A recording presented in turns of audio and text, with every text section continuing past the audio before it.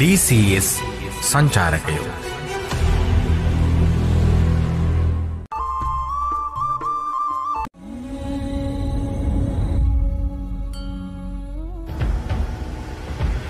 DCS සංචාරකයෝ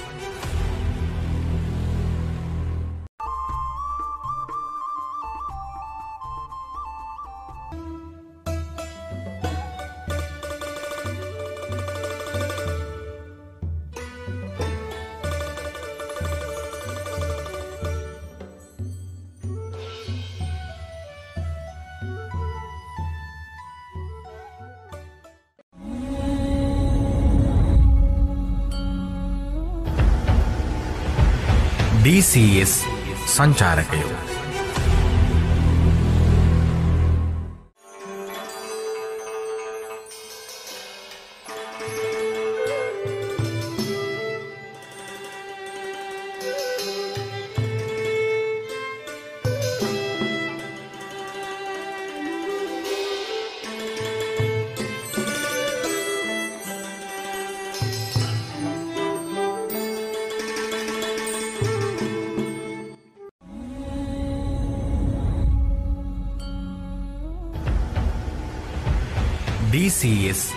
සංචාරකයෝ.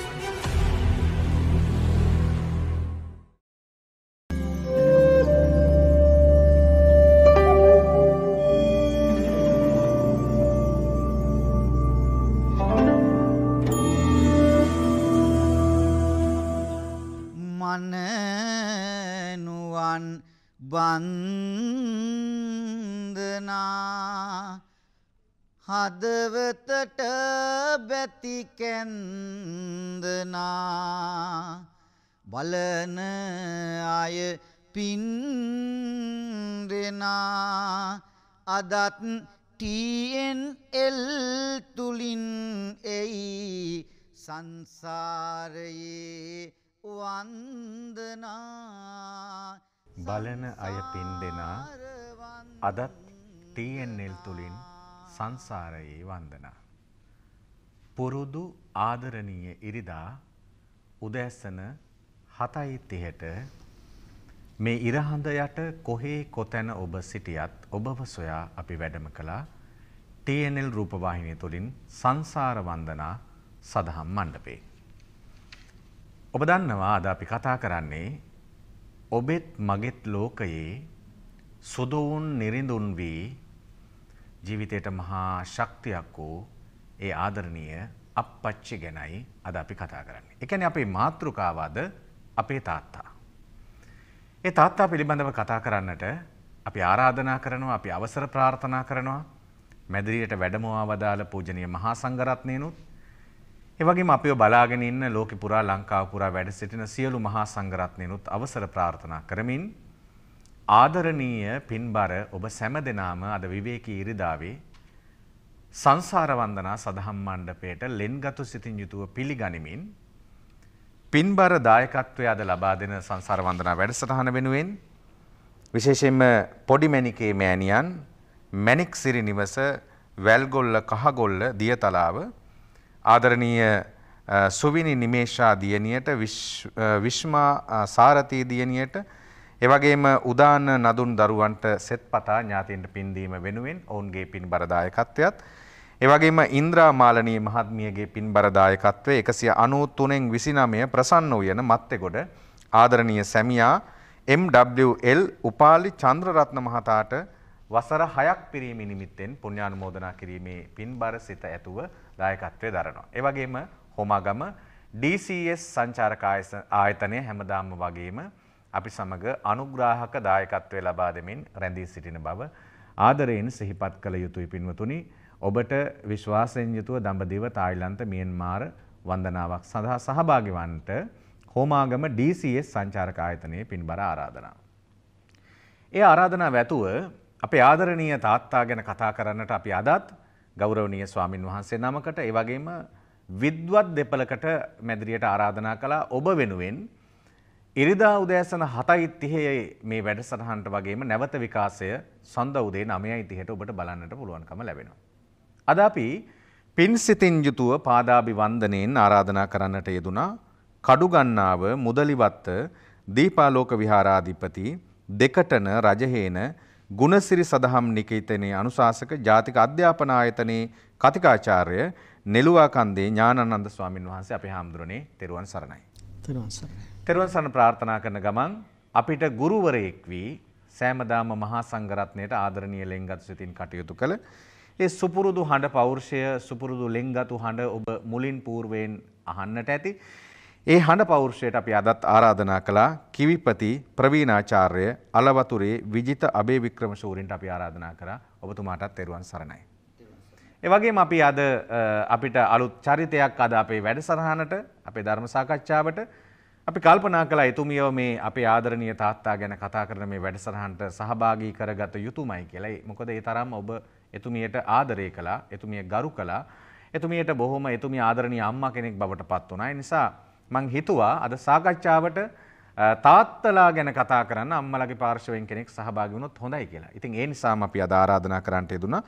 මිනිස් බලය හා රැකී රක්ෂා දෙපාර්තමේන්තුවේ අධ්‍යක්ෂ ජෙනරාල් අනුෂා ගෝකුල ප්‍රනාන්දු මැතිනියට මැතිනියනේ ඔබත් තෙරුවන් සරණයි කියලා පිළිගන්නවා.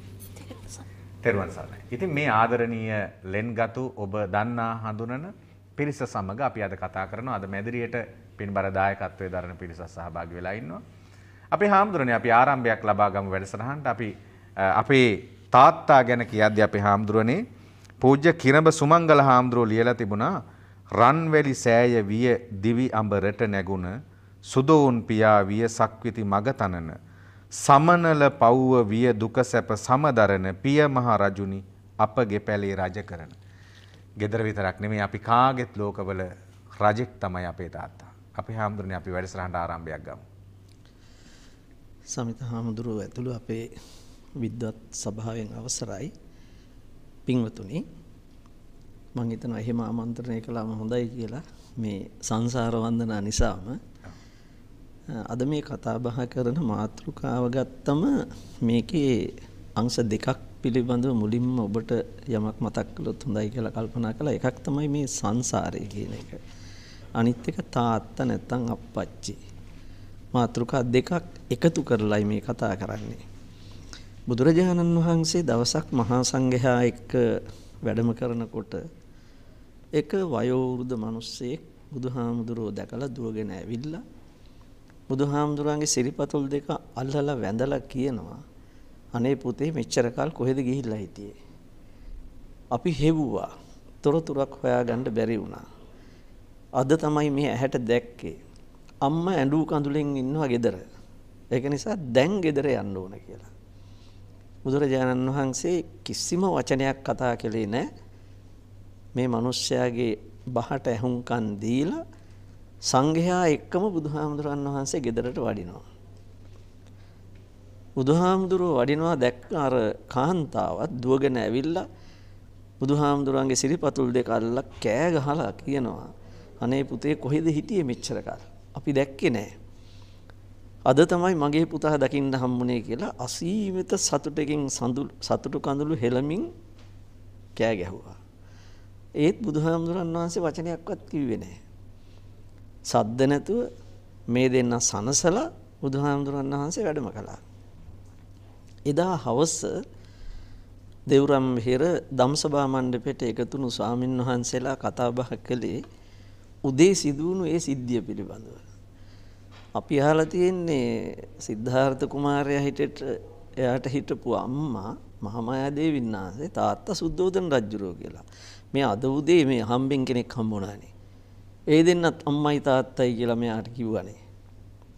ඒ වෙලාවේ බුදුහාමුදුරන් වහන්සේ සංඝයාට මතක් කළා මහණෙනි ඔය දෙන්න මට ආත්ම 500ක් අම්මයි තාත්තයි වෙලා තියෙනවා මේ සංසාර ගමනේ. ආත්ම 500ක් පුංචි අම්මා පුංචි තාත්තා වෙලා තියෙනවා. ආත්ම 500ක් මහප්පා මහම්මා වෙලා තියෙනවා. ලොකු අම්ම ලොකු තාත්තා වෙලා දෙනවා. ආත්ම 1500ක සම්බන්ධතාවයයි මතු වුණේ කියලා. ඒ නිසා මේ සංසාරය කියන එක එක පැත්තකින් හරි පුදුමයි. අපි නොදන්න කොච්චර දේවල් මේ සසර ගමනේ තියනවාද කියලා හිතන්නවත් බෑ. ඒ නිසාම තමයි බුදුහාමුදුරන් වහන්සේ දේශනා කළ සූත්‍ර තුනක් තියෙනවා අංගුත්තර නිකායේ මාතු පිතු භාතු තව එකක් තියෙනවා භගිනී කියලා. මේ සූත්‍ර හතරෙන්ම කියන්නෙත් මේ සසර පුදුම සාගත තත්ත්වයන් තමයි. ඒ තමයි මාතු සූත්‍රයේ බුදුහාමුදුරන් වහන්සේ මතක් කරන මහණෙනි මේ ලෝකයේ ඔබට මව නොවුණු කාන්තාවක් නැහැ. මව නොවුණු කාන්තාවක් නැහැ. ලෝකෙ කොහේ හරි කාන්තාවක් ඉන්නවා නම් ඒ කාන්තාව මේ සංසාර ගමනේ කොත්තනකදී හරි කවදා හරි ඔබට අම්මා වෙලා ඉන්න ඇති. පිතු සූත්‍රයේ කියනවා මේ ලෝකේ තමන්ට තාත්තා නොවුණු පිරිමියෙක් නෑ කියලා.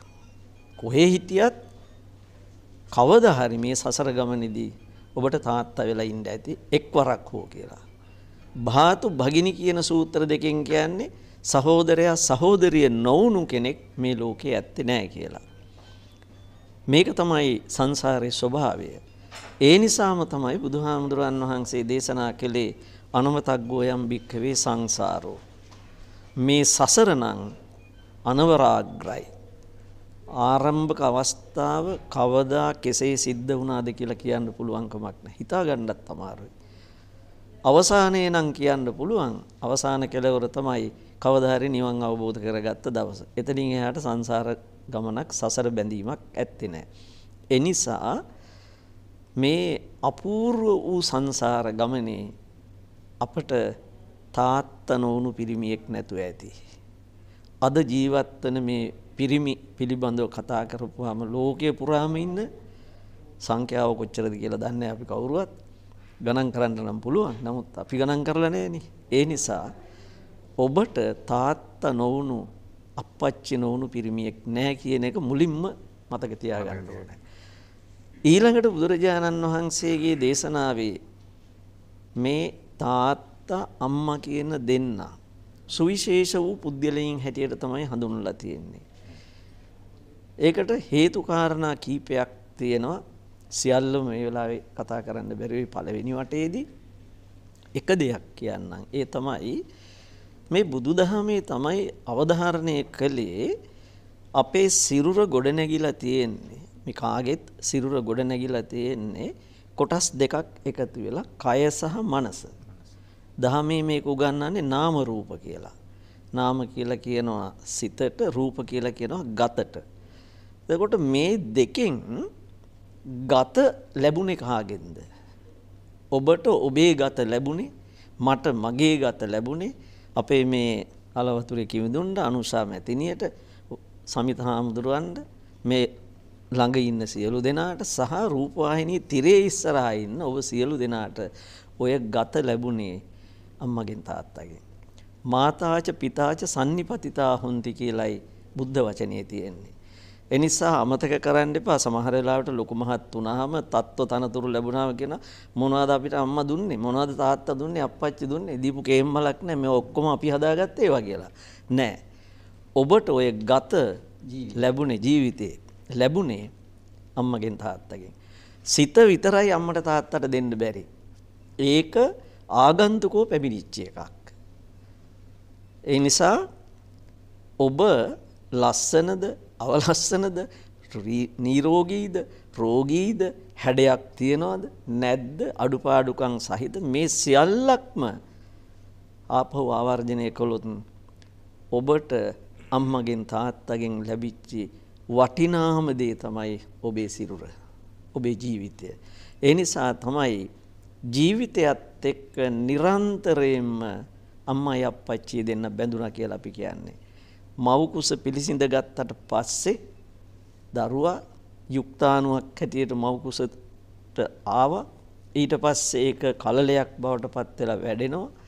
මාස හතක් අවමය උපරිමේ මාස දහයක් මවකුස තුළ දරාගෙන ඉන්න අම්ම ඒ කාලෙදි පෙකෙනිවල හරහා සම්බන්ධ වෙලා අපි වැඩෙනවා.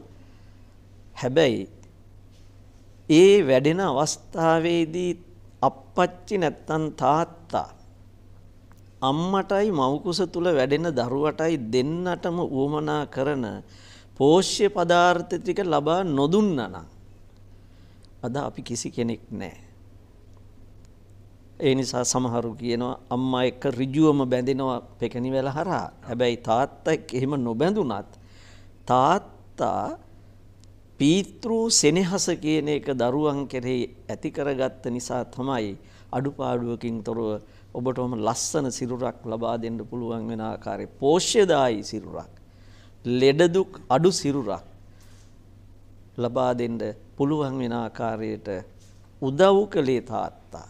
ඒක එතන තව තියෙනවනේ දර පූජාවලියක පරිච්ඡේදයක මට මතකයි හාමුදුරනේ මේ සුද්ධෝදන රජතුමා මේ කිරිමව්වරු තේරීම කරන වෙලාවේ අර උස කාන්තාව, මිටි කාන්තාව, මහත කාන්තාව නැතුව සුදු අයගේ කිරි මෙහෙමයි, කළු අයගේ කිරි එතනත් කියවෙනව නේද අපි හාමුදුරනේ මේ තාත්තා කෙනෙක් දරුවෙක් ගැන දැන් අපි දකින්නේ අම්මා තමයි සෙවුම්ම දරුවා ගැන හිතන්නේ කියලානේ. ඔව් තාත්තා කෙනෙකුත් හිතනවා කියන කාරණාව අපිට හිතනවා. ඇත්තටම තාත්තා ඒවට අපි කියන අපේ බණ පොතේ තියෙන මේ ගබ්බ පරිහාර කියන වචනේ. ගැබ් පෙළහර. ඒ ගැබ් පෙළහර සමිත හාමුදුරනේ මුළුමනින්ම තියෙන්නේ මේ දරුවා කෙරෙහි යොදවන්න තමයි. කියන්නේ දරුවා කුසට ආවෙන් පස්සේ ඒ වැඩෙන කාල සීමාව තුල තාත්තා අනුගමනය කළ යුතු පිළිවෙත් ටික තමයි ගැබ් පෙළහර තුල තියෙන්නේ. ඒක කාන්තාවට රකින්න නෙමෙයි. කාන්තාව තුල රැකෙන්න තාත්තාගෙන් වෙන්න ඕන සහාය. උදාහරණයක් කිව්වොත් එහෙම දරුවා කුසට ආපු කාලය තුලදී තාත්තා මවට කේන්තින ආකාරයේ වැඩ කළොත් එහෙම හිරිහැර කළොත් මානසික පීඩාවන් කළොත් එහෙම මොකද වෙන්නේ? අර දරුවා ඌනතා සපිරි දරුවෙක් බවට පත් වෙනවා කියලා. මේවා මනෝවිද්‍යානුකූලයි ජීව විද්‍යානුකූලයි අද ලෝකේ එහෙම දේවල් ඔප්පු කරගෙන තියෙනවා. අපි ඉස්සරහට කතා කරමු. ඒවා මොනවද කියලා. එහේ. අපේ හාමුදුරුවනේ අපිට පැහැදිලි අපච්චි ගැන පෝරුවිකාව සමහර පිරිමි සත්තු ඉන්නවා. කුරුළු විශේෂ සමහර සත්තුන් ඉන්නවා. අපි දැකලා තියෙනවා අපේ හාමුදුරනේ බිත්තර රකින්නකොට කිරිල්ලිය සමහර පිරිමි සත්තු තමයි ආහාර සම්පාදනය කරන්නේ. රැක බලාගන්න කිරලයි කිරිලේ උනත් අරගෙන බැලුවට පස්සේ අපිට දකින්න පුළුවන් පැටව්ව ඇවිදින්න පුරුදු කරන තැන ඉඳලා පුදුම ආරක්ෂාවක් දෙනවා. ඉතින් මේ විදිහට බැලුවට පස්සේ මේ තාත්තා කියන චරිතය බොහොම ආදරණීයයි සංසාර වන්දනා සදහම් මණ්ඩපයේට ඔබට මේ පින්බර දායකත්වය ලබා ගන්න කතා කරන්න පුළුවන් 072යි 23යි 20යි 503 0යි 7යි 600යි 29යි 209 011යි 2යි 188යි 338 කියන දුරකථන අංකයෙන් දෙවරක් හිතන්නට එපා. දැනට අපි වැඩසටහන ඔබ වෙනුවෙන් අරගෙන ඉන්නේ මාසෙට දෙවරයි. මාසේ මුල් සතියේ සහ අග සතියේ. ඔබේ ආදරය ලැබුණොත් ඔබ ආදරයෙන් මේ වැඩසටහන වැළඳගත්තොත් පින්වතුනි අපිට පුළුවන් අපේ හාමුදුරනේ මාසේ සෑම ඉරිදාවකම උදෑසන 7:30 ඉඳලා ඔබේ ආලින්දයට ඔබ සොයාගෙන එන්න. ඒ ආදරණීය වැළඳ ගැනීම කරන්න කියන ආරාධනාව අපි කරනවා. මම මීළඟට යොමු වෙන සූදානම් කිවිපති ප්‍රවීණාචාර්ය අලවතුරේ විජිත අබේවික්‍රම කිවිඳුන් වෙත කිවිඳුනි අපි කවි බසත් එකතු කරගෙන අපි කතා කරමු තාත්තගේ ආදරය ගැන. අපේ පූජනීය මහා සංඝරත්නයන් අවසරයි අනුසගෝකුල මැතිණියනි සහභාගී වෙන පින්වත් අම්මලාගෙන් අවසරයි ඇත්තටම අම්මලා ගැන බොහෝ කවි ලියවිලා තියෙනවා. තාත්තලා ගැන කවි නොලියුණා නෙවෙයි. ඒ වුණත් තාත්තලාගේ ආදරය ඒ තියෙන ගැඹුර පිළිබඳව එකවර සිතා ගන්නට බැරි තරම්. ඒ නිසා මා සිතනවා මම කවි කිහිපයක් මුල්ම කවි තුන ඉදිරිපත් කරන්නේ තාත්තා කවුද තාත්තගේ තියෙන ගැඹුර මොකක්ද තාත්තගේ තියෙන වැදගත්කම මොකක්ද කියන කාරණාව පැහැදිලි කරන්න අපේ ආමතුරනේ. අපේ නෙළුවකන්දේ පණිතහාරු දේශනා කරපු විදිහට දැන් අම්මට විතරක් බෑනේ දරුවෙක් හදන්න. අම්මයි තාත්තයි කියන මේ දෙන්නගේම සුසංයෝගයක් තමයි දරුවයි කියන්නේ. අපිට මොනවා නැතත් අපේ ජීවිතය ලබා දුන්නේ අම්මයි තාත්තයිනේ. ඒ හින්දා මම මෙහෙම දකින්නවා කවියෙක් හැටියට තාත්තා පිළිබඳව. සසර ගැඹර මහමුහුද පියානන් එතර කරන නෞකාව පියානන් සසර උරුම දුන් සවිය පියානන් විතර සිතා වැඳගනිමු පියානන් සසර උරුම දුන් සවිය පියානන් විතර සිතා වැඳ ගනිමු පියාණන්.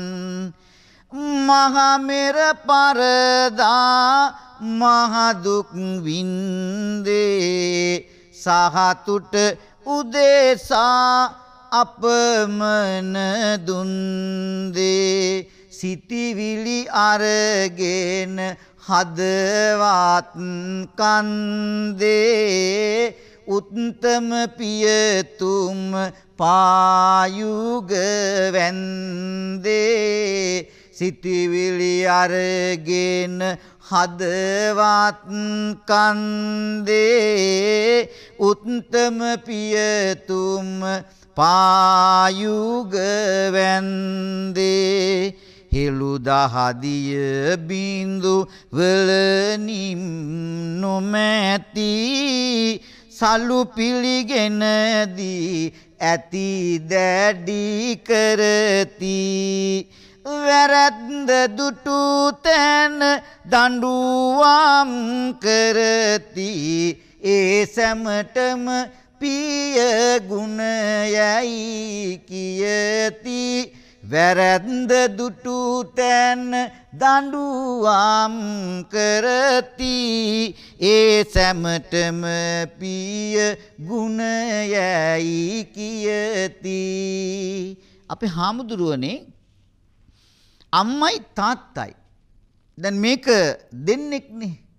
මේ ලෝකේ බොහෝ දේ තනිව සිද්ධ වෙන්නේ නැහැ සුලන් හමන්නේ ගහකොළවල මල් පිපෙන්නේ ජෝ ලෝකයේ පවතින්නේ ජීවිතයේ පවතින්නේ හැම විටම තවත් වස්තුවක තවත් ක්‍රියාදාමයක ආධාරකයක් හැටියට.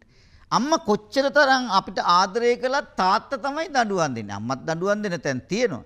ඒ වුණාට තාත්තා තමයි නායකත්වයේ කියන එක දෙන්නේ. තාත්තා නායකත්වයේ නොදෙන්නට අපිට අපේ සමාජයේ පවත්වාගෙන යන්න ලැබෙන්නේ නැහැ. එස අපි දැන් ලෞතුරා බුදු පියාණන් වහන්සේ පිළිබඳව කතා කළත් අපි කතා කරන්නේ අපේම බුදු මෑණියන් වූ අපේම බුදු පියාණන් වූ කියලානේ. එතකොට බුද්ධ ගෞරවයටත් පීතෘ කියන වචනේ පාවිච්චි කරනවා. අම්මයි තාත්තගේ දෙන්න ගත්තට පස්සේ තාත්තා හැම තාත්තා තමයි හැමදේම දහඩිය මහන්සියෙන් වැඩ කටයුතු කරන්නේ. අද නම් වර්තමානයේ අම්මයි තාත්තයි දෙන්නම වැඩ කටයුතු වලට යනවා. ඒ නිසා වර්තමාන සමාජයේ වෙනත් මාවතකට යමු වෙලා තියෙනවා. ඒක වෙනම කතාවක්. නමුත් අපේ සමාජය තුල ගත්තාම තාත්තට තියෙන නායකත්වය හැමතැනම දක්නට ලැබෙනවා.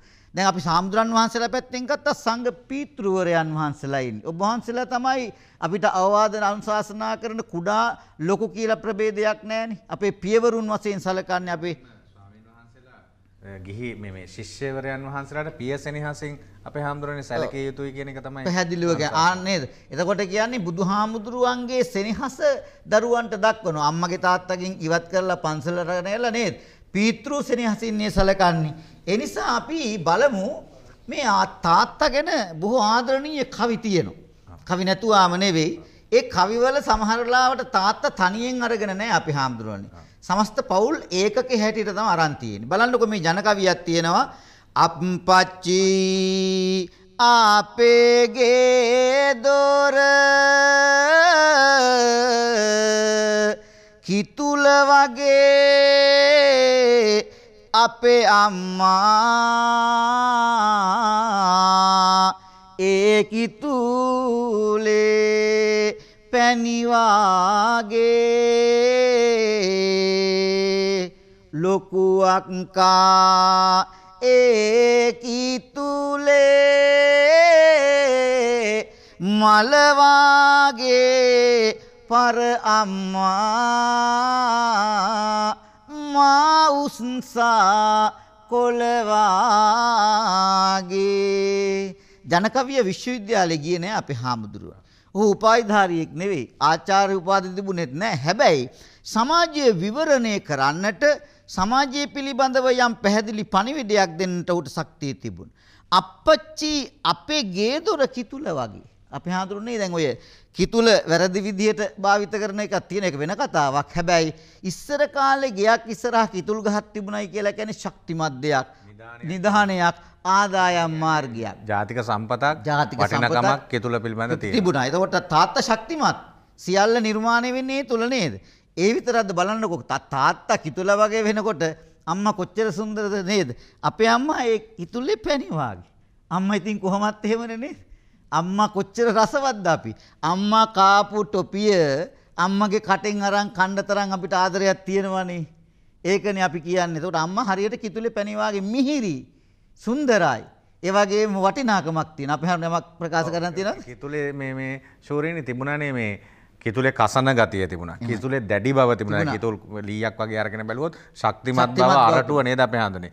ඒ පැත්තෙන් gedara මේ මේ අපිට මේ ආර්ථිකය සකසා ගැනීමේ ශක්තියක් තියෙනවා. ඒතර තාත්තා ළඟ මේ ආදරය සෙනෙහස දෙකම මේ ශක්තිය මේ ඔක්කොම කිතුලත් එක්ක අර්ථවත් වුණා. අම්මා කියන එක මේ පැණි වාගේ කියනකොට අම්මගේ තිබුණු මිහිරි බව, ලයාන්විත බව මං හිතන්නේ විස්තර. එතන දැන් කවිය භාවිත කරන කිසිම වස්තුවක් තුළ ඒකකයක් තුළ අපත යන්නේ නැහැ. ඊට පස්සේ දැන් තනියෙන් තාත්තා විතරන්නේ ලොකු අක්කා කෙනෙකුත් ඉන්නවානේ. ලොකු අක්කා ඒ කිතුලේ මල වාගේ. අක්කාගේ කොණ්ඩේ හරියට කිතුල් මල වාගේ ලස්සනයි.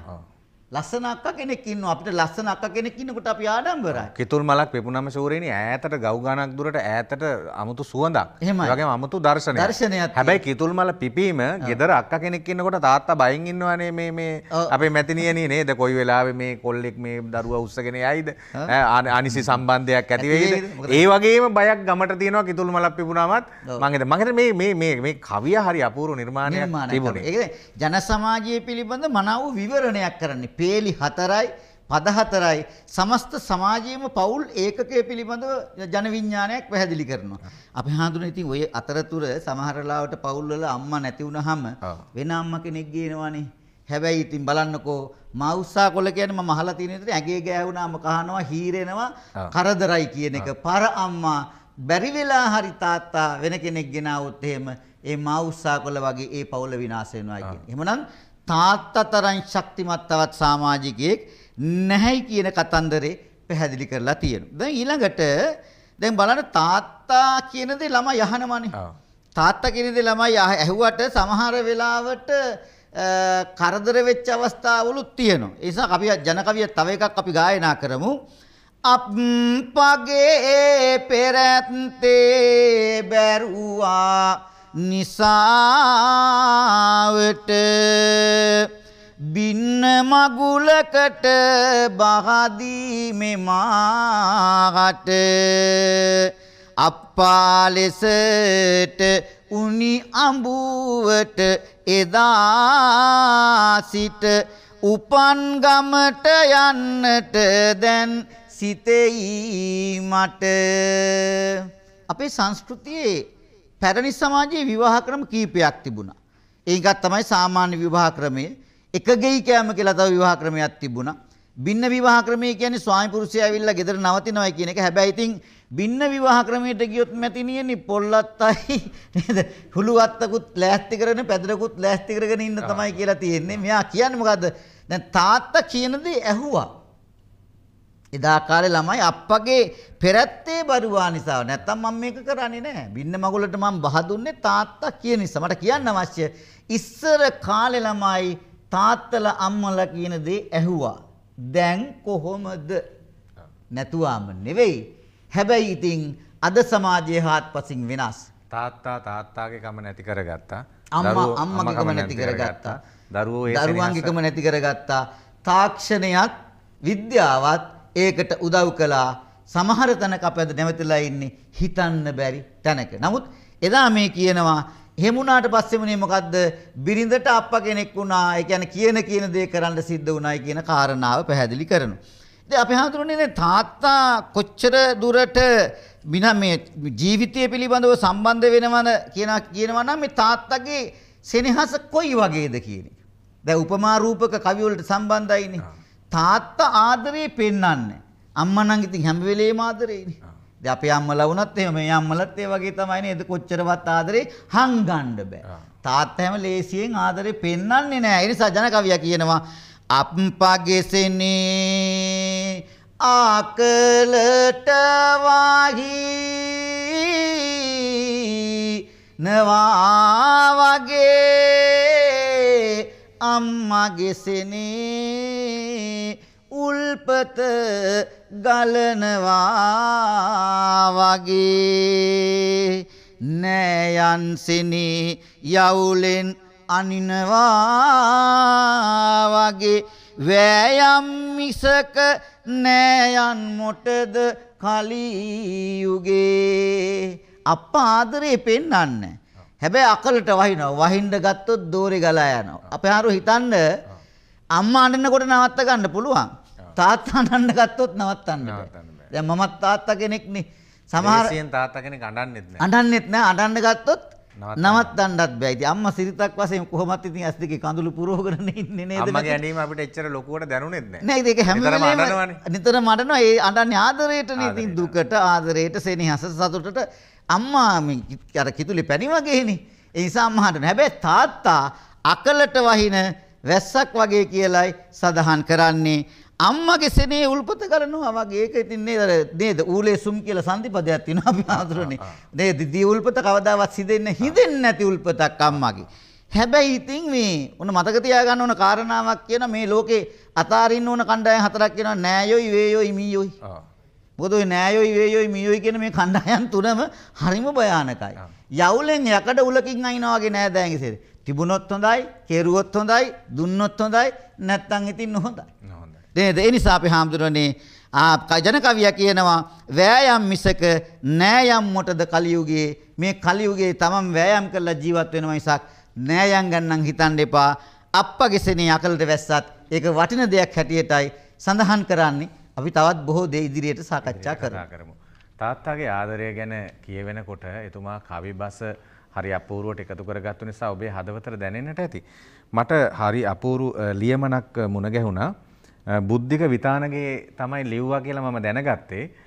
මේ මේ කියමන කොච්චර අපූරුද කියලා බලන්න තාත්තා ගැන කියද්දී මන් තමයි පොඩි පුතේ උඹේ අන්ද තාත්තා. උඹේ අඩුව මට කීවේ පොට් උඹේ අඹුව මට කීවේ පොට්ට කුදු මහල්ලා. අන්ද වුණේ ඇයි කියා අ, ඈ දන්නේ නැති නිසා ඇහුන් නෑහුණා වගේ හිටියේ මගේ කරුමේ බවසිතා. මත කයිද පොඩි පුතේ අපි එදා බය වුණා. අපි ගියපු වාහනේ මහ වැවට පෙරළුණා. නුඹේ අම්මා ඒ මොහොතේ වැව් පතුලේ හැංගුණා. නුඹ එක්ක මන් පොතේ මේ ලෝකේ තනි වුණා. මට වාරු නැති වුණේ නුඹ අන්ධ බව අසා. මට තිබුණු මේ ලෝකේ සේසතම නුඹ නිසා මගේ දෙයස් නුඹ නමින් මම් පුතේ වෙන් කළා. ඒ බවක් පොඩි පුතේ මං උඹට හැංගුවා. නුඹේ අඩුව උඹේ අඹුව බනින විට මගේ අන්ධ බව කියා හිත මගේ පිච්චුණත් මන් හුඟක් ඉවසුවා. උඹේ දරුවෝ මං ළඟට එන විටදී නවතලා ඈ ගොඩක් මගේ හිත පොඩි පුතේ රිද්දුවා. ඒ දබර වලකන්න උත්තරේ ලෙස එදා මේ වහල යට මාව උඹ පුතේ තනි කළා. දැන් මගේ ජීවිතේ අවසාන ටික නිසා තුන් වේල ගත වුණේ බණ පොතේ අත තියා. ඔහු මෙහෙම ලියනවා බුද්ධික විතානගේ අවසානට මගේ හුස්ම නැවතුණත් මේ වහල යට මෙදා රත්තරන් පොඩි පුතේ මන් උඹට පෙම් කළා. දැනෙන විට ලොකු දුකක් නුඹේ හිතම රිදවලා වහගනින් නැස් දෙකම නුඹ ළඟයි තාත්තා. මේ කියන්නේ අම්මයි තාත්තයි පුතයි ගමනක් යනකොට විට ශූරීනි වාහනේ වැවට පෙරෙල්ලා අම්මා නැති වෙනවා. දෑස අන්ධ වුණු මේ අනතුරෙන් දෑස අන්දරු අන්ධ වුණු පුතාට ඇස් දෙක දෙන්නේ තාත්තා. හැබැයි කසාද බැන්දම බිරිඳ දන්නේ නෑ මේක. පොට්ට තාත්තා කියලා හැමතිස්සෙම කතා කරා. කතා කරේ දරුවෝ ඈත් කළේ. ඒකෙන් බේරෙන්න ඕන නිසා පුතත් මේක පුතාගෙන් තාත්තා හැංගුවා ඇස් දෙක දුන්නා කියන කතාව. පුතා ගිහිල්ලා තාත්තව දෑසන්ද තාත්තාව වැඩිහිටි නිවාසෙට දැම්මා. වැඩිහිටි නිවාසේ තාත්තා මිය දෙන වෙලාවේ කියනවා මම මැරුණත් උඹට දුකක් ඇති වුණාම මාව මතක් කරපන් මං උඹ ළඟ ඉන්නවා පුතේ කියලා. මේක තමයි සමාජ ඛේදවාචකය අ, මැතිනියනි ඔබ වෙතයි මා යොමු වෙන්නට සූදානම් වෙන්නේ මිනිස් බලය හා රැකී රක්ෂා දෙපාර්තමේන්තුවේ අධ්‍යක්ෂක ජෙනරාල් අනුෂා ගෝකුල ප්‍රනාන්දු මැතිනියනි ඔබේ අ, ඒ ආදරණීය මෞතුමියක් විදියට ඒ වගේම ඔබතුමිය සමාජයේ බොහෝ තල නියෝජනය කරපු කාන්තාවක් විදියට කුරුණෑගලින් කොළඹට ආපු කාන්තාවක් විදිහට ඔබතුමියට බොහෝ කියවීම් ඔබතුමියගේ ජීවතුන් අතර ඉන්න ආදරණීය තාත්තා පිළිබඳවත් මේ සමස්ත තාත්තලා පිළිබඳවත් ඇති. අපි ඒ ගැන කතා කරමු. ඔහු අවසරයි අපේ හාමුදුරුවනේ සියලු දෙනාගෙන්ම අවසරයි. අ, විශේෂයෙන්ම කාලීන මාතෘකාවක් කාලීන මාතෘකාවක් වෙන්නේ අද සමාජයේ මේ පීතෘත්වය පිළිබඳව තියෙන යොමු අපේ හාමුදුරුවනේ අ, විශාල වෙනසකට භාජනය වෙලා තියෙනවා සමාජාර්ථික වටපිටාවත් එක්ක මේ තරංකාරිත්වයත් එක්ක. ඒ නිසා තමයි මේ සංස්කෘතිකමය ආමන්ත්‍රණයන් ඉතාම වැදගත් වෙන්නේ. අපි වගේ සමාජවල විශේෂයෙන් දකුණු ආසියාතික රටවල් වල තාත්තගේ හැඩතල පවුලත් එක්ක විශාල වශයෙන් බැඳිලා තියෙන්නේ. ඒක දාර්ශනික වශයෙන්ුත් ආගමික පද්ධතිය තුලත් සමාජීය වශයෙන්ුත් බද්ධ වෙලා තියෙනවා. ඒ වගේම කලාකරුවා එක දැකලා තියෙනවා. විශේෂයෙන්ම කවියා. ඒ වගේම සූසැට කලාව තුලම තාත්තා අප්පච්චි විවිධ ආකාරයෙන් ඉස්මතු වෙනවා. අ, අපේ ස්වාමින් වහන්සේ අ, ආගමික පැත්තෙන් කතා කළා. අ, මෙතුම කවියෙන් ආමන්ත්‍රණය කරා මම අ, සමාජ විද්‍යාත්මකව කතා කරන්නම් ප්‍රායෝගික භාවිතයත් එක්ක. මේ ගොඩක් දෙනෙක් හිතනවා මේ ගමේ අප්පච්චි තාත්තා එක විදිහක් නගරේ තාත්තා අප්පච්චි එක විදිහක් කියලා. එහෙම එකක් නැහැ. අ, තාත්තා අප්පච්චි කියපුවාම ඒ හැඟීම හැම තැනම එකයි. පුජ්‍යලයේ ගොඩනැගෙන්නේ ආරය සහ පරිසරය එක්ක. ඒ ආරය සහ පරිසරය දරුවෙකුට අත්පත් කරලා දෙන්න ප්‍රධාන භූමිකාවක් තමයි තාත්තා අප්පච්චි කියන්නේ. ඒක පැත්තකට අඬ ගහලා බෙන්න මෙහිමයි ජීවිතය කියලා කියලා දෙනවා නෙවෙයි ජීවත් වෙනකොට තාත්තා කියව ගැනීම තුළ තමයි දරුවෝ මේක අත්පත් කරගන්නේ. එතකොට ඒ සියුම් කියවීමට අවකාශයක් ගෙදරක තියෙන්න ඕනේ. අද ඔය කියන සියුම් කියවීම අ, සඳහා ඒ අවකාශය විවිධ දෑ නිසා අවහිර වෙලා තියෙනවා. මාධ්‍යම විසින් වෙන්න පුළුවන් ඒ වගේම සෝෂල් මීඩියා වෙන්න පුළුවන් සමාජ මාධ්‍ය වෙන්න පුළුවන් මේ තරංකාරීත්වය මේ වෙළඳපොළ වෙන්න පුළුවන් විවිධ දේවල්. හැබැයි මේ හැම දෙයක්ම යහපත්ව පාවිච්චි කරන්න පුළුවන්. දැන් මේ මාධ්‍යම මේ නැවත තාත්තා අප්පච්චි ගැන වටිනාකම් කියන්න සංසාර වන්දනා වැඩසටහන තුලදී ඔබ වහන්සේ මේ උඩුගම් බලා යමින් විශාල ක්‍රියාවක් කරන්නේ. ඒ වාගේ මේ ඕනෑම අඳුරක ඕනෑම අඳුරු වලාවක රිදී රේඛාවක් තියෙනවා. අන්නේ අඳුරු වලාව තුළ තියෙන රිදී රේඛාව ඉස්මතු කර ගැනීම තමයි සමාජ සංවර්ධනය මානව සංවර්ධනයට වැදගත් වෙන්නේ. මම දකින්නේ මේ වැඩසටහනත් ඒ විදිහට. දැන් මගේ තාත්තගෙන් මම පටන් ගත්තොත් එහෙම අපේ හාමුදුරුවනේ ඉස්සර මල්ලිලා දෙන්නයි මායි ගෙදර අපි කෑම කාලා හැම වෙලේම තාත්තට අත දික් කරලා පෙන්වන්න ඕන. මොකද මේ දෙවෙනි පුරුකෙන් උඩට ඉඳුල් ගෑවිලා තියන්න බෑ.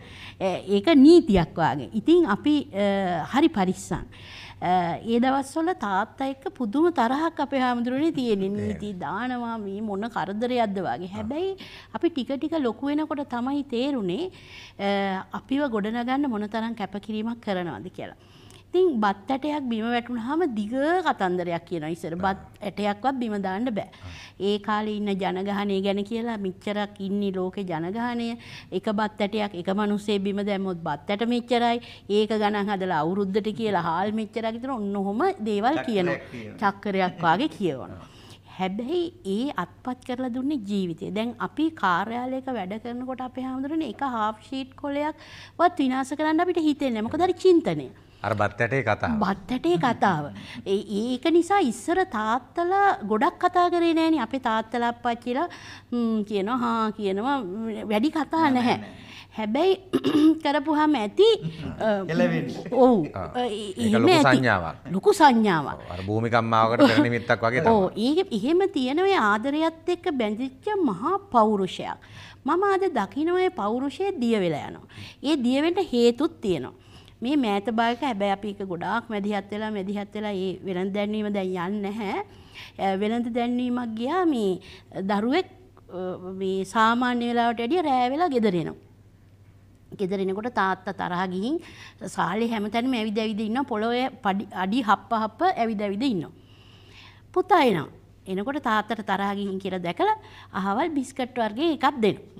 දුන්නාම තාත්තා කූල් ඩවුන් වෙනවා. මොකටද මේ අර බිස්කට් එක විකුණ ගන්න.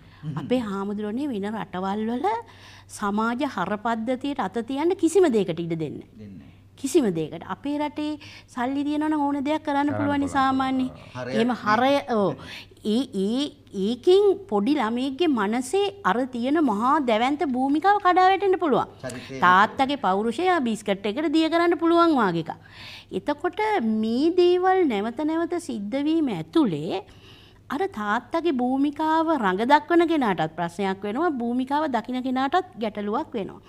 මෙන්න මේ ගැන ඉතාම සියුම් අපි සිතිය යුතුයි. ඊගාවට ඉස්සර මට මතකයි අපේ තාත්තා මැදවච්චිය ප්‍රදේශයේ උගන්නනකොට අපිත් මැදවච්චේ හිටිය අම්මා පූනෑවේ ඉගැන්නුවේ මගේ අම්මයි තාත්තයි ගුරුවරු දෙන්නෙක් තාත්තා පසු කාලීන විදුහල්පති කෙනෙක්. එතකොට අපි බයිසිකලේ යනකොට අපේ හඳුන ඉස්සරහ යනවා වාහන. ඉස්සර කාර්වල තියෙන්නේ සීවයි. එහෙමනේ අංක තියෙන්නේ. ඉතින් ඉලක්කම් ටික එකතු කරන්න කියනවා.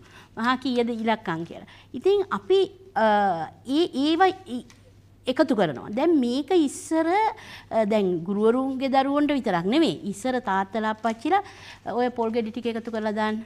ගණන් කරලාම දාන්න. මේ gedara ගණිත ගුරුවරෙක් හිටියා. ඒ අප්පච්චි අම්මත් ඒ වගේ. මේවා අපිට දැන් නැති වෙලා ගිහින් තියෙනවා. අපි හැම වෙලේම ඉපදිච්ච මොහොතේ ඉඳන් ඉස්කෝලේ යවන්න පුළුවන් නම් අපේ අම්මලා යවනවා. ඒ කියන්නේ ඒ තරම් මේ පෙළපොත් අධ්‍යාපනයේට යට වෙලා තියෙනවා. හැබැයි ඒ තාත්තලගෙන් ලැබිච්ච මහා දැනුම ඒ කුසලතාවය, ඒ ආකල්ප, අත්දැකීම්, පළපුරුද්ද පුජ්‍යලේ පරිණත වෙන්න, පුජ්‍යලයකට ඕන සමාජයක ජීවත් වෙන්න හේතුකාරක වෙනවා. දැන් අද වෙනකොට ඒවා නැති නිසා සහතික ගොඩක් තියෙන හිස් මිනිස්සු සමාජය අපිට දකින්න හම්බෙනවා. මොකද අර හරය දැකලා නැති නිසා. එතකොට තාත්තගේ මේ භූමිකාව දැවැන්තයි. මම සමාජ සේව අධ්‍යක්ෂක වශයෙන් වැඩ කරන කාලෙදී අපේ හාමුදුරනේ දවසක් තාත්තා කෙනෙක් ආව හවස දෙකට විතර හරිම දුප්පත් පෙනුමක් තියෙන තාත්තා කෙනෙක් ඇවිල්ලා දැන් අඬ අඬ කියනවා මගේ බිරිඳ ගිය සතියේ නැති වුණා. එයා මානසික රෝගයකින් හිටියේ. මගේ දියණිවරු තුන් දෙනාම මන්ද මානසිකයි. ගෙදර හිටියේ. දැන් බිරිඳ තමයි බලාගත්තේ. මං කුලී වැඩ කරේ. ඉතින් දැන් මට මං කිසි දෙයක් ඉල්ලන්න නෙවෙයි ආවේ. මට මේ දරුවෝ තුන්දෙනා බලාගෙන කුලී වැඩක් කරන්න බෑ. ඒක නිසා මට මේකට විසඳුමක් හොයලා දෙන්න කියලා. මම මේ ආධාර මුදලක්වත් මොකුත් ඉල්ලගෙන නෙවෙයි ආවේ. මම තාත්තා කාලාද කියලා. ඊට පස්සේ කිව්වා නෑ කියලා. ඊට පස්සේ මම පොඩ්ඩක් වාඩි වෙන්නකෝ කියලා මම අපේ පියන් මහත්තයාට කියලා කඩෙන් කෑම එකක් ගෙනල්ලා දීලා මම කිව්වා දැන් කන්නකෝ ඉස්සෙල්ලා කාලා ප්‍රශ්නේ බලමු කියලා. ඔබ වහන්සේට කියන්න මේ තාත්තා කියපු කාරණේ තමයි මං ගෙදර ගිහින් කන්නම් කිව්වා. ඒ ගෙදර ගිහින් කන්නම් කිව්වේ අර දරු තුන්දෙනාට කෑම එක ගෙනියන්න. එතකොට ඒ අතරෙම මට හම්බෙනවා 2013 දී එක දියණිවරුන් දෙන්නෙක් මෙත්සෙවන කියන නිවර්තන නිවාසයේදී ඒතන තමයි මේ නිවර්තන නිවාසය ලංකාවේ එකයි තියෙන්නේ. අම්මා විදේශගත වෙලා මේ තාත්තා විසින් දියණිවරුන් දෙන්නම දූෂණය වෙලා. අවුරුදු 18යි 19යි ඒ වකට. මේ අන්ත දෙකක්. ඉතින් එදා බුදුන්ගේ සමයේත් එදත් අදත් හෙටත් මේ අන්තයන් පවතිනවා. හැබැයි අපි සමාජයේ ජනගත කරන්නේ අර සුන්දර අප්පච්චි. සුන්දර තාත්තා බොහෝ වෙලාවට පොල් ගෙඩි අකුරෙන් පත්තරයක තියෙන්නේත් වැරදි දේවල් කරපු. ඔබතුමීගේ කතාවට මම බොහොම 110ක් එකඟයි. ඔව්. අපි හැන්දෑවට ප්‍රවෘත්ති බැලුවොත් අර මේ ලෝකේ 1000ක් හොඳ කරන තාත්තලා අතරේ එක වැරද්දක් කරපු තාත්තා තමයි. මේ ස්ටා කෙනෙක් කරලා පෙන්වන්නේ. ඔව් ඒ ඒ කියන්නේ කුණු රසය මේ සමාජය ඉස්සරහට ගෙනියනවා. විකුණනවා. දැන් අපි අපේ 550 ජාතකයේ බැලුවත් ඒ වගේම සූත්‍ර බැලුවත් අපේ බුදුරජාණන් වහන්සේ දේශනා කරලා තියෙන වෙනාගමික මේ නායකින් දේශනා කරලා තියෙන දේවල් බැලුවත් යහපත් ආදර්ශ තමයි කියන්නේ අපි සක්සස් කේසස් කියන්නේ සාර්ථක අත්දැකීම් තමයි කියන්නේ. එතකොට තමයි මමත් එහෙම කෙනෙක් වෙන්න ඕන කියලා සමාජයට දැනෙන්නේ. දැන් ගොඩක් වෙලාවට අපි වපුරන්නේ මේ වැරදි දේවල්.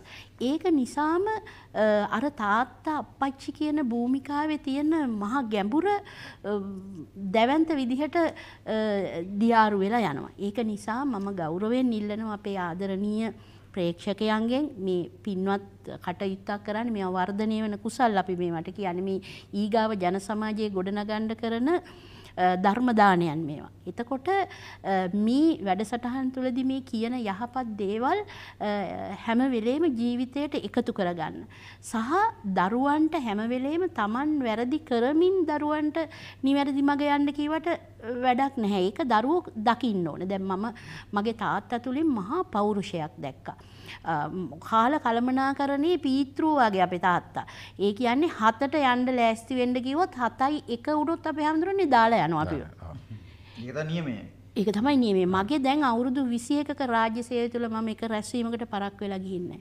වැඩසටහනක් තියෙනවනේ මං ඊට කලින් ලිපි ගොනු ටිකත් අරගෙන ගිහින් වාහනේට වෙලා වැඩ කරලා වෙලාවට බැහැලා යනවා. මොකද අපිට ට්‍රැෆික් එක්ක මේ ගැන හිතන්න බැරි නිසා ඔබ වහන්සේත් මේ වැඩසටහනට ආරාධනා කරන වෙලාව කිව්වා මේ ට්‍රැෆික් තියෙනවා. ඒ කියන්නේ අපිට සැලසුම් කරන්න බෑ. හැබැයි අපිට ලැබිච්ච දේ දැන් අපිට පුදුම ලැජ්ජාවක් තියෙන පරක් වුණා.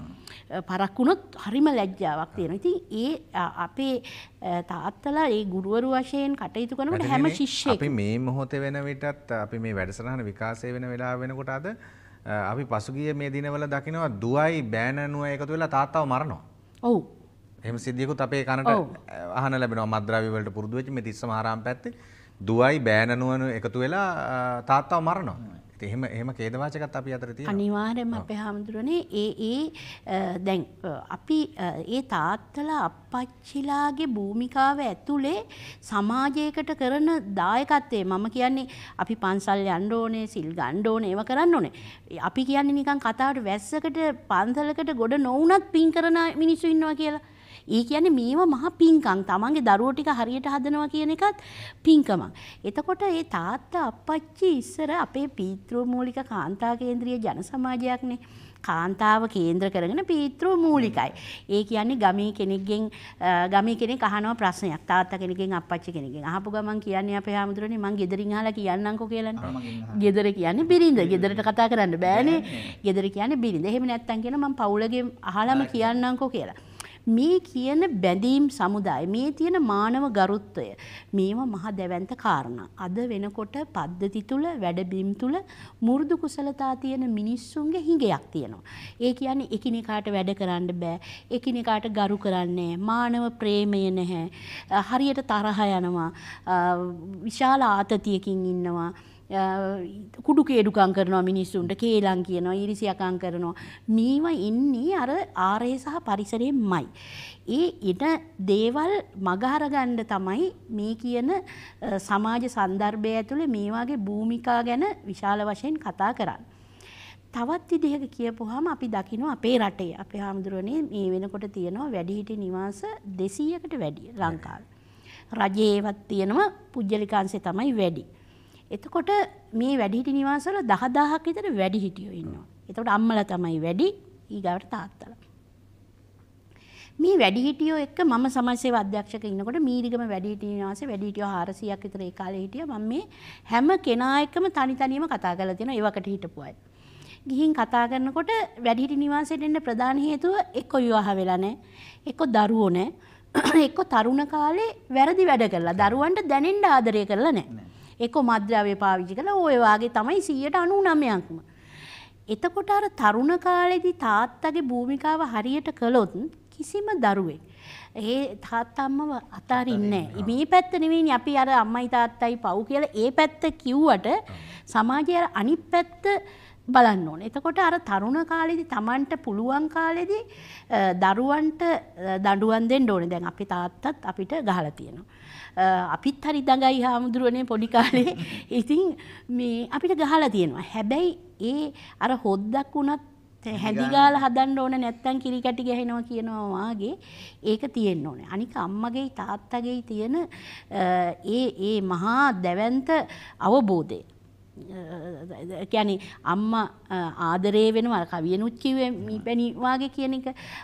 අම්මගේ ආදරේ තාත්තගේ සැර අඩු කරලා දෙනවා අම්මා. හැම වෙලේම අම්මා කියන්නේ තාත්තා මෙහෙමයි කොච්චර මහන්සි වෙනවද ඕගොල්ලෝ වෙනුවෙන්. ඕගොල්ලෝ තමයි ජීවිතේ. මැතිනියනි මට හිතනවා වෙලාවකදී අර සමහර කෑම වර්ගවල තියෙනවා මේ අපේ මේ මෙතුමනි මේ සමහර ඒවා හදද්දී කරද්දී සමහර වෙන කෙමිකල් එකක් දානවා අරගේ සැර අඩුවෙන්. අපේ මේ අල වර්ග තියෙනවා. සමහර ඒවා හදනකොට කොළ වර්ගයක් දානවා අපේ හාමුදුරනේ අරගේ සැර ටිකක් අඩු වෙන. මම හිතන්නේ අම්මගේ ආදරේ මට හිතෙන්නේ ඒ වගේ. ඒ වගේ එකක්. දැන් මාළු දකුණු පළාතේ මාළු කණ්ඩ දෙනකොට මේ කෙලවල්ල මාළු එහෙම පොල් දෙන්නේ. පොල් දෙනවා. ඒ වගේ අර සැර බාල වෙන්න. සැර බාල වෙන්න ඒක සමබර වෙන්න. එතකොට ඒ අම්මා කෙනෙක්ගේ ඒ භූමිකාව ඇත්තටම අ, දැන් තියෙනවනේ අපේ ගොඩක් වෙලාවට සම තැන නිසි තැන මේ මේ ප්‍රශ්න ගොඩක් සමාජයේ මේ දේවල් එක්කත් එන්නේ ඒ බටහිර රටවල් වල එහෙ මේ වගේ සංස්කෘතියක් බොහෝ වෙලාවට නැති නිසා ඒ සමාජයේ හැඩගස්ස ගන්න හදන නීති රාමුවක් තියෙනවා. අපි නීතියට වඩා ඉහළින් මිනිස්සුන්ගේ ಗುಣ තිබ්බ රටක්.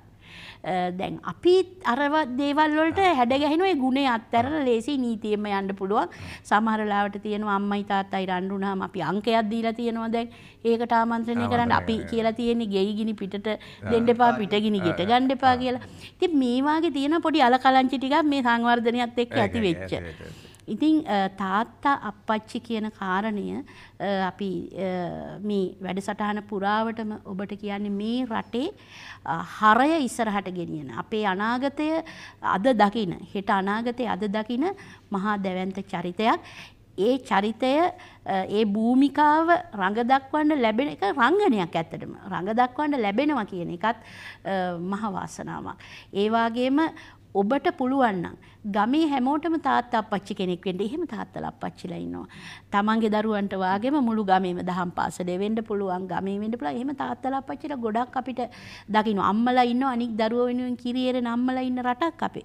ඒක නිසා මේ යහපත් දේ වපුරන්න මේක අහගෙන ඉන්න ඔබ නරඹන ඔබ මේ අහන දේවල් මේ වැඩසටහන් තුලින් මම ගෞරවයෙන් ඉල්ලනවා එක්කෙනෙක් තව 10 දෙනෙකුටවත් මේක කියන්න.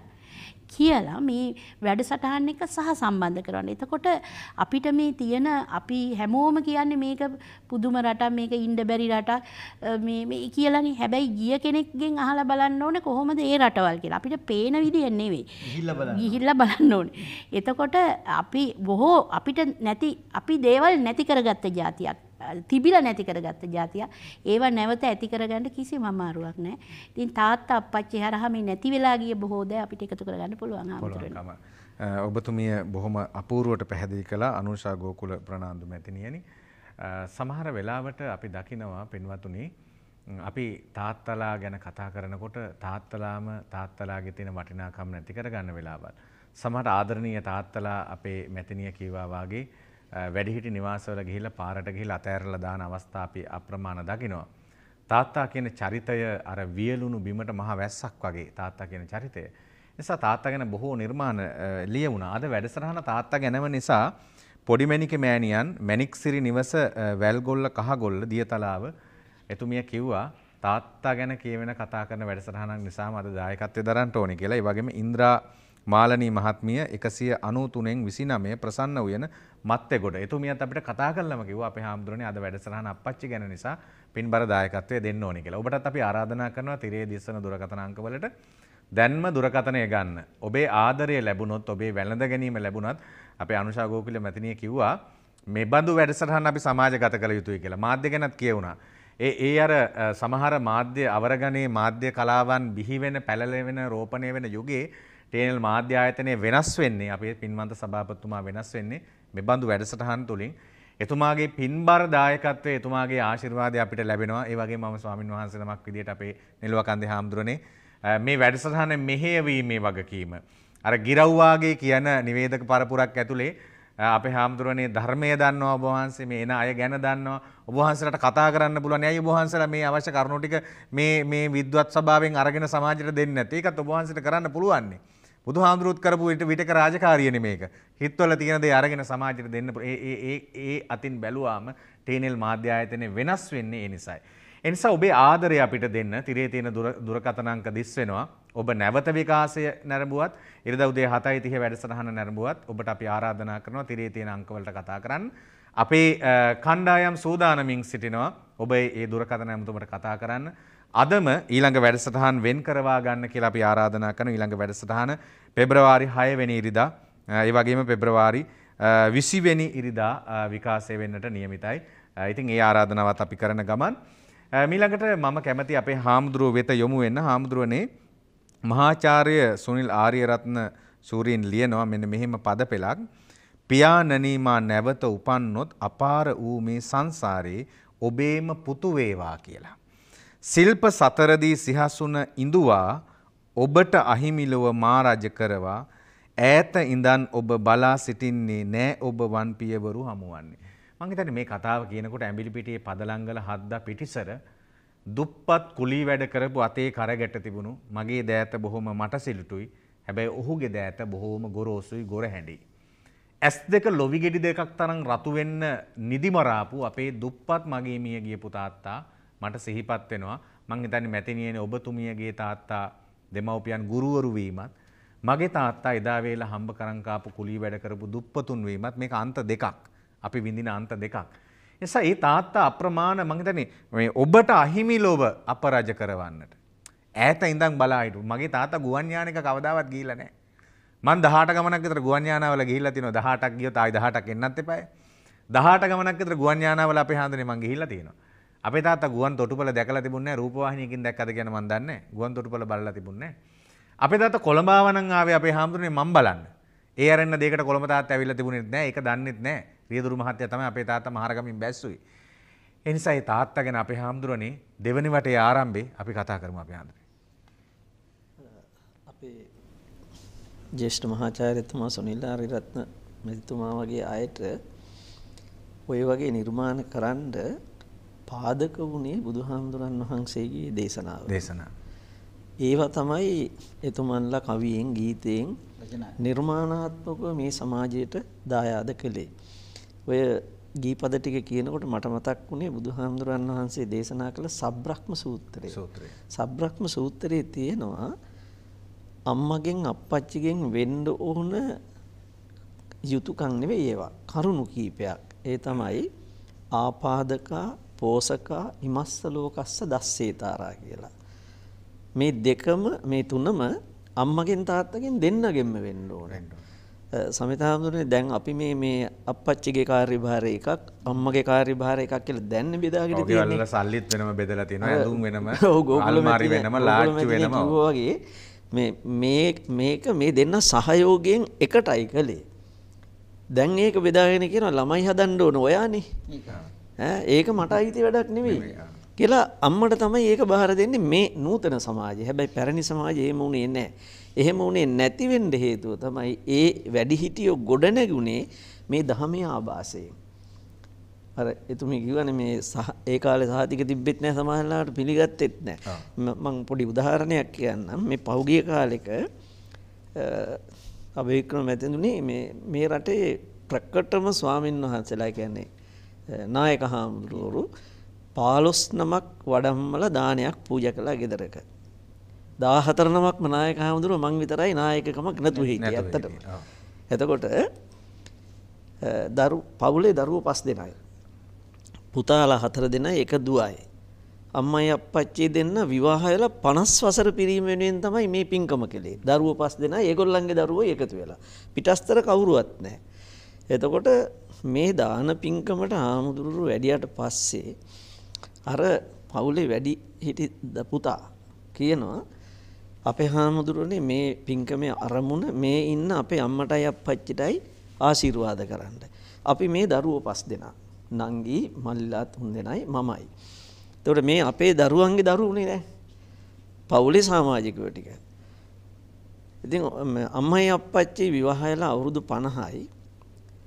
අපේ අප්පච්චි ගිහිල්ලා තියෙන්නේ පහ වසරට. මොන සහතිකයක්වත් නැහැ. පහ වසරට ඉස්කෝලේ. අම්මා ගිහිල්ලා තියෙන්නේ දෙක වසරට. එතනින් පස්සේ ඉගෙනීම නවත්තලා තියෙන අම්මට අදටත් අකුරු ලියන්න බෑ කන අස්සන. තමයි ගහන්නේ. ඒක තමයි ගහන්නේ කිව්වා. හැබැයි අපි පස් දෙනාම උපායධාරීන්. අපි පස් දෙනාම රජයේ රැකියා කරනවා.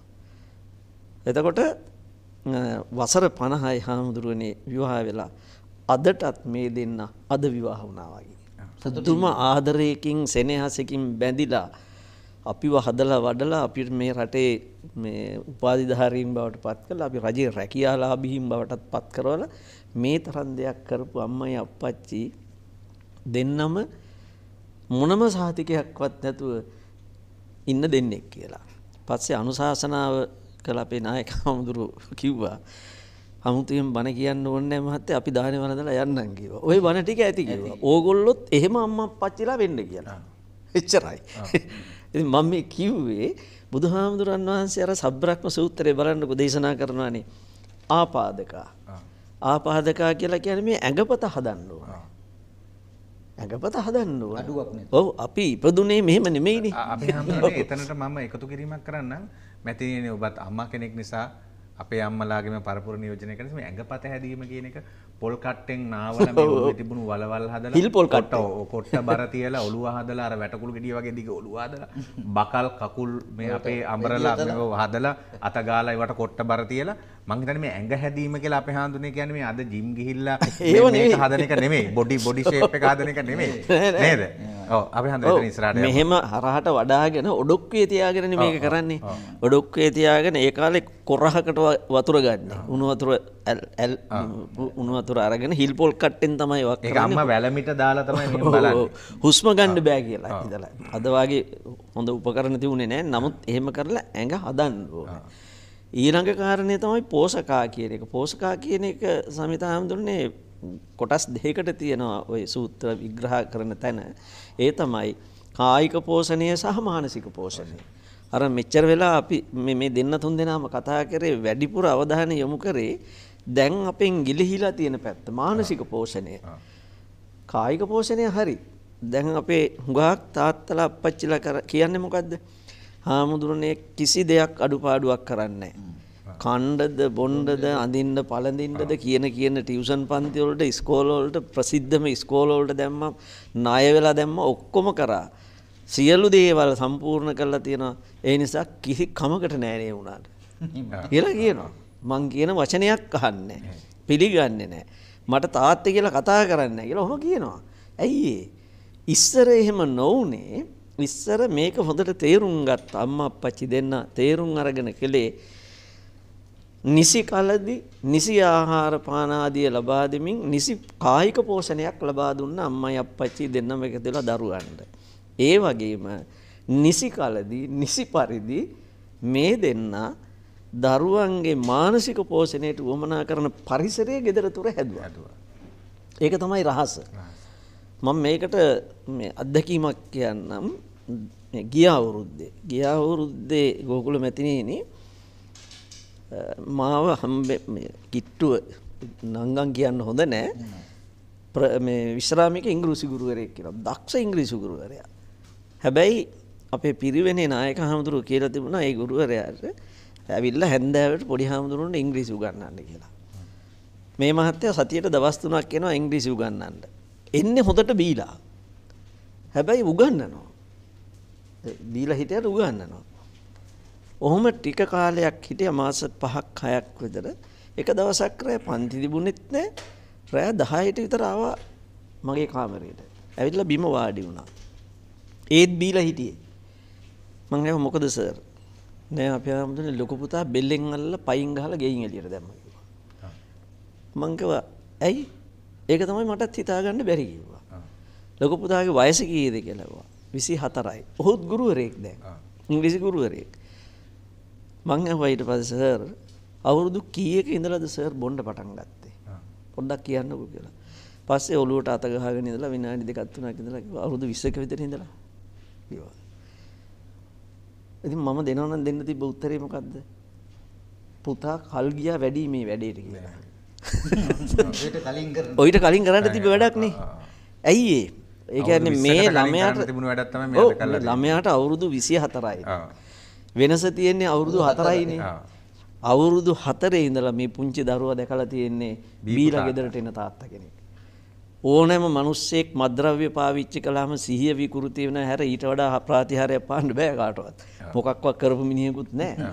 එතකොට පුංචි කාලෙදි දරුවන්ගේ මනසේ මේ අම්මා අප්පච්චි පිළිබඳව චිත්ත රූප තමයි ගොඩ නැගෙන්නේ. දැන් අපි අපි කවුරුවත් ඉන්නවද මෙතන අම්මා අප්පච්චි හඳුනාගෙන ඉපන්න අය? නෑ. එහෙම එක්කෙනෙක් ගැනනේ අපි අහලා තියෙන්නේ බෝධිසත්වයෝ නේද?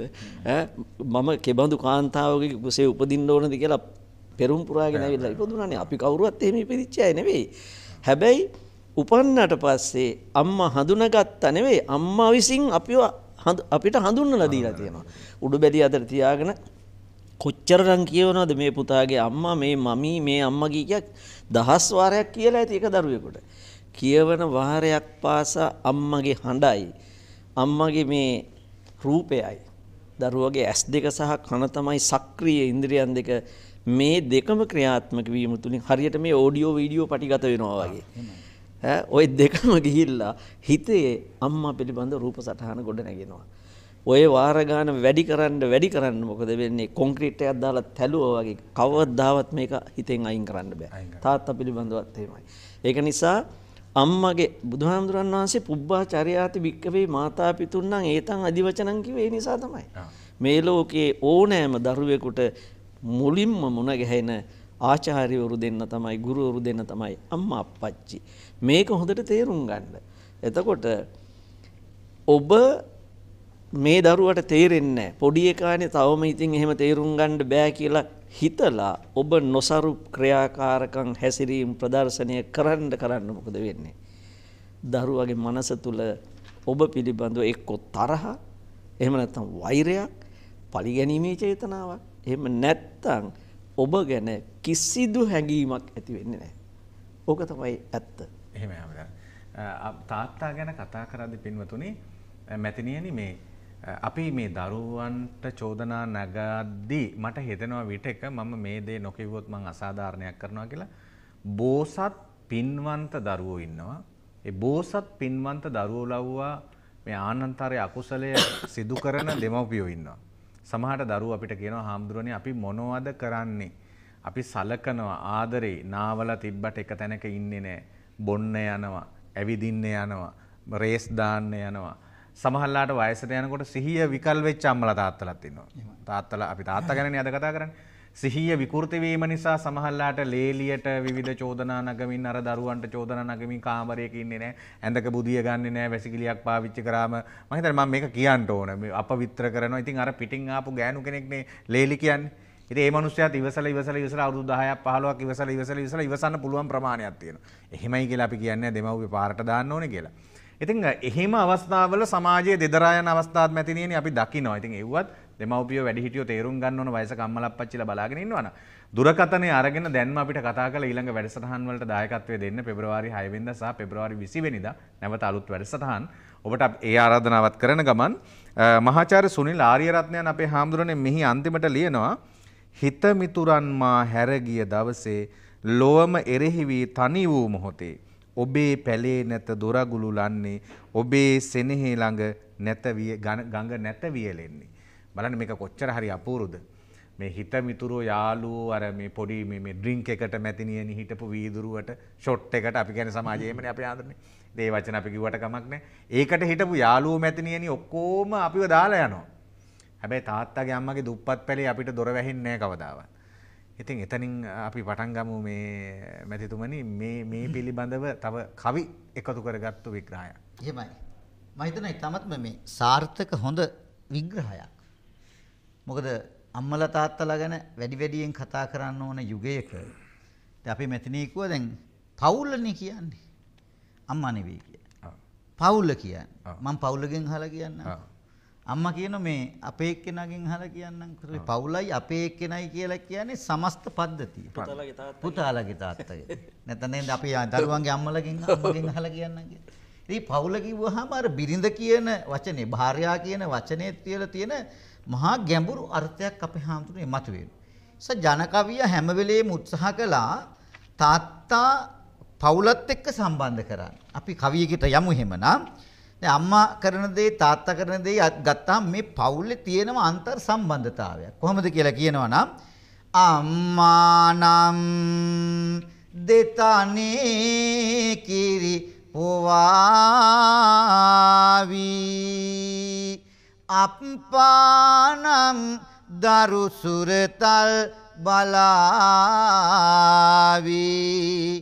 අක්කානං රන් තැටියේ කවාවි අයියානං පොල් ඉරටෙන් තලාවි සමස්ත පවුල තාත්තා අම්මා දෙතනේ රන් කිරිපෝනවා කියලා කියන්නේ රන් කිරි කියලානේ කියන්නේ. ඒතකොට රන් කිරි කියලා කියන්නේ ජීව විද්‍යාත්මක මේ ලෝකයේ අම්මාගේ කිරිතරම් උසස් තවත් දෙයක් නැහැ නේ. ඒක සාමාන්‍ය අපි හැමෝම දන්නවා. අප්ප හැබැයි දරසුරුතල් බලන. සමහර වෙලාවට තාත්තා අපිට හඳ පෙන්නලා අර අම්බිලි මාමා හඳ මාමා කියලා කියනවා වගේම තාත්තේ දරසුරුතල් බලන්නේ යම් ප්‍රමාණයකට. හැබැයි ඒක අපිට හරියට වටිනවා. අර සමහරලාට මෙතුම කියව තාත්තා රැල් බුරුල් අරිනකොටත් gedara හෙල්ලිලා ඉවරනේ. මොකද කියලා අහපුවාම අර සද්ද බද්ද ඔක්කොම නැති වෙලා යනවා. තාත්තා ශක්තිමත් දෙනින්. අක්කා බොහොම ආදරෙයි රන් තැටියේ පොවන්නේ. කිරිපුණක් නැත් රන් තැටියෙන් තමයි කවන්නේ තරම් ආදරයක් තියෙනවා. හැබැයි ඊළඟ තාත්තා තමයි අයියා අපේ. ඔය සමහර අපේ පැරණි සමාජවල වැඩිමහල් අයියා තමයි තාත්තා හැටියට සැලකන්නේ. තාත්තා නැති වුණොත් අයියා තමයි සම්පූර්ණ වගකීම ගන්නෙ. එයා හැබැයි මොන හරි වැරද්දක් කළොත් තාත්තා වෙනුවට එයා ඉන්නවා. එයා මොකද්ද කරන්නේ?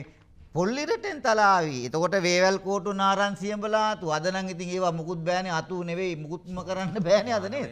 අද වෙනස් වෙලානේ තියෙන සමාජයේ ඒවට විවිධ හේතු තියෙනවා. හැබැයි අර හැන්ද හොද්ද හැඳි ගාලා හදන්න නැතුව වගේ තමයි අපි ගුටි කාපු හින්දා තමයි අද මෙතන තියෙන්නේ. ඒ නිසා අපි හදන්නේ මට මේ ජන කවියගෙන් හොඳ කවි කීපයක් හම්බුණා පහුගිය දවස්වල මේ පරිශ්‍රණයකට මේ තොරතුරු සොයද්දි තාත්තා තමයි gedara ඉන්න දරුවන්ට අවවාද දෙන්නේ. අම්මත් දෙනවා. මේ තාත්තා කෙනෙක් දරුවෙකුට විශේෂයෙන්ම දියණියකට දෙන අවවාදයක්. බලන්නකො මේ ජන කවිය කොච්චර ශාස්ත්‍රීයද කොච්චර වැදගත් පණිවිඩයක් දෙනවද කියන එක. ගොඩින් යන්න හොඳ පාරතියෙද්දිත් ගෝරු මඩේ එරුණාද තමා. මහනිල් මල්විල ළඟම තියෙද්දිත් වරාමලක් නෙළුවාද තමා. වරාමලක් නෙළුවාද තමා. කොතෙක් කැලේමී බමරතියෙද්දිත් නිලමැස් සන්මග ගියද තාමා. මෙතෙක් රටේ හොඳ පිරිමි සිටිද්දිත් සොරෙකුට කල් බැන්දාද තමා. සොරෙකුට කල් බැන්දාද තමා. දුවට හන් තාත්තා. ගොඩින් යන්න හොඳ පාරතියද්දි මොකටද ගෝරු මඩේරේ. දැන් අපි අර කතා කරන්නේ හොයලා බැලුවද? හොඳට අපි හොයලා බලන්නේ කටයුත්තක් කරන්නේ. ඉතින් ගොඩින් යන්න පාරතියෙද්දි ගෝරු මඩේරෙන්න ඕනේ අද මඩේ එරිලා වැලවිලා බෙල්ල ළඟට එරුණාමනේ තාත්තට කතා කරන්නේ අපේ අතට. අද සමාජයේ එහෙමනේ. අද විද්‍යුත් මාධ්‍ය දියුණුයි බොහෝ දේවල් විනාශ වෙලා තියෙනවා. තාත්ත ගැමි සමාජය එකතු කරගන්නවා අපි හාදුරනේ මහනෙල් මල්විල්ල ළඟම තියෙද්දිත් වරාමලක් නෙළුවාදත. මහනෙල් සුවඳයි පූජ කරන හැබැයි වරාමලේ කිරි වැටුනොත් ඇස් අන්ද වෙන.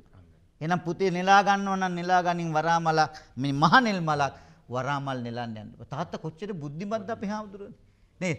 පණිවිඩය දෙනවා මේ ස්වාභාවික පරිසරයත් එක්ක එකට ඉතලා පණිවිඩ දෙනවා. ඊළඟ බලන්න ඔයා මේ කැලේ කොලේත් එක්ක ජීවත් වුණේ අපි පැරණි අය. මේ කොතෙක් කැලේ මී බඹර තියෙද්දිත් නිලමැස්සන් මග ගියද තම. අකු බඹරු ඉන්නේ මල් සුවඳකින්. ඇයි නිලමැස් නිලමැස්සු යන්නේ ජරා ගොඩට. ඇයි නිලමැස්සෙක් තෝරගත්තේ? මීමැස්සෙක් තෝරගන්නේ. මොකද නුඹ මලක්. එතකොට මීමැස්ස දන්නවා යථා අපි බමරෝ පුප්පන් නේ. එතකොට ඒ දන්නවනේ මල නොතලා රොන් ගන්න පුළුවන් ය කියලා කියන එක. ඒවා ජන කවිය මේ බුද්ධාගම ගැන කතා කරන්නේ අපේ ආන්දර. බුද්ධාගමෙන් පෝෂිනුනේ ජන කවිය මෙතෙක් රටේ හොඳ පිරිමි සිටිද්දිත් සොරෙකුට කල් බැන්දා කුණ්ඩලකේසියව. අහුවෙන්න එපා. රටේ හොඳ පිරිමියෙක් ඉන්න හොයාගනි හොරුන්ට අහුවෙන්න එපා. අපේ හාමුදුරුවනේ එදා තාත්තලා දරුවන්ට මේ දේ කියලා දුන්න. අද වෙනකොට අපි ගත්තොත් ඔය බොහෝ විද්‍යුත් මුද්‍රිත මාධ්‍ය වලින් අපිට පේනවා ළමයි කොච්චරනම් රැවටෙනවද කියලා. දැන් මගේ සේවා කාලේ අවුරුදු 33ක් ඉස්කෝල පහක මම වැඩ කරලා තියෙනවා. අපේ දරුවන්ට වෙච්ච සමහර දේවල් ශිෂ්‍ය උපදේශනේ පැත්තෙන් බැලුවාම ඇත්තටම ළමයි අහුවෙන්නේ. ඇත්තටම ළමයි සමාජ විද්‍යානුකූල ගත්තොත් මෙතනින් රැවටෙනවා. රැවටුණාට පස්සේ තමයි කියන්නේ. එතකොට එදා ජනකවිය කිව්වා රැවටෙන්න එපා, හොරුන්ට අහු වෙන්න එපා කියලා කියන. ඒ විතරක් නෙවෙයි නෑ. යා ජීවත් වෙන්න ඕන කොහොමද කියන එක. ලෝකයේ කෘතවේදීත්වය පළ කරන්න ඕන කොහොමද? ලෝකේ ජීවත් වෙන්න ඕන කොහොමද කියන කාරණාව ජනකවිය ඊ타මත්ම පැහැදිලිව සඳහන් කරනවා මෙහෙම.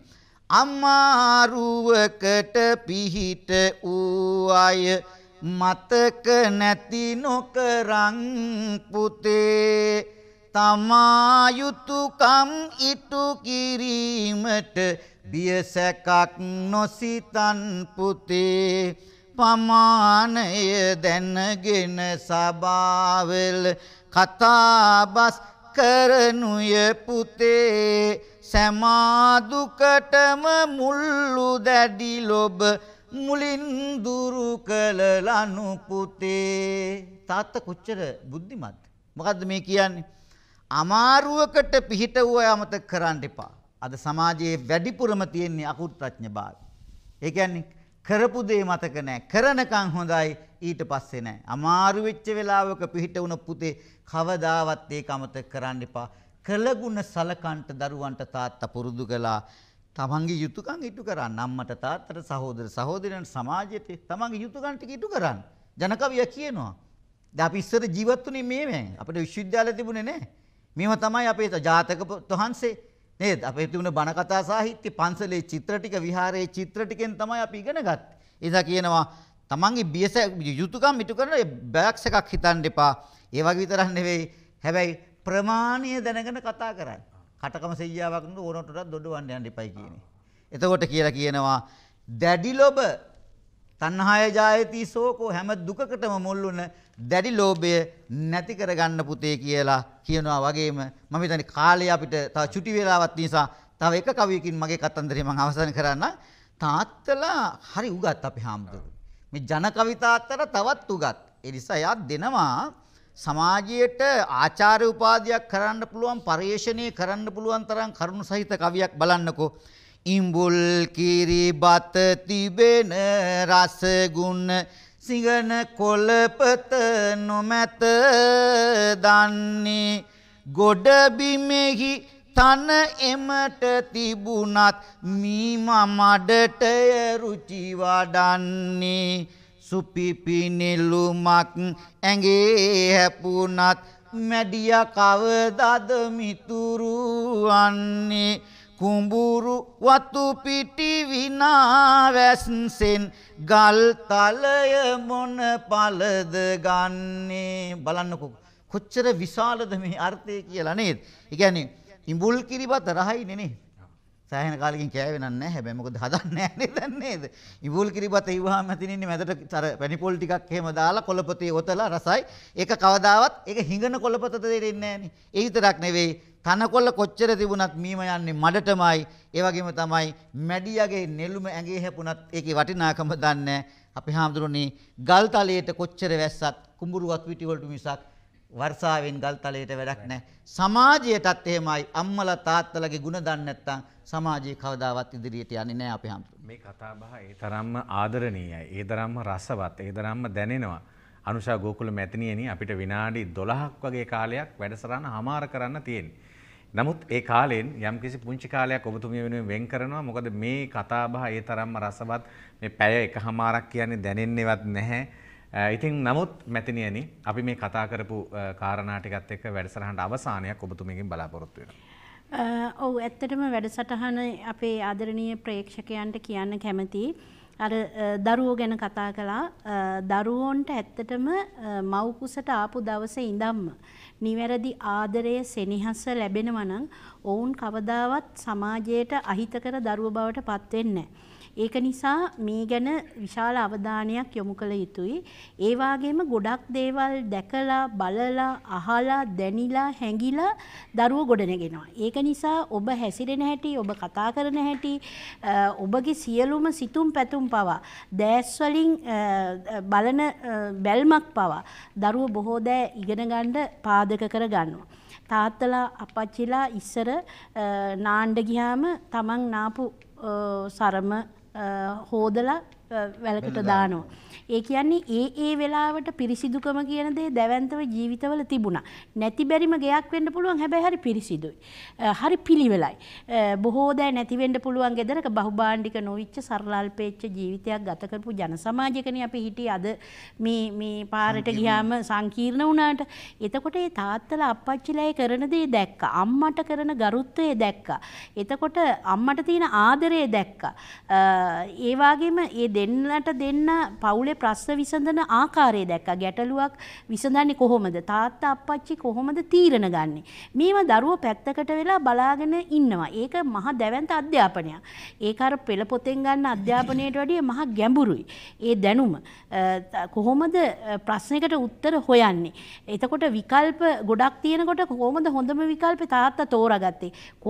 අපිට සමාන ප්‍රශ්නයක් එනකොට මතක් වෙනවා තාත්තලා අප්පච්චිලා ප්‍රශ්නේ විසඳපු විදිහ.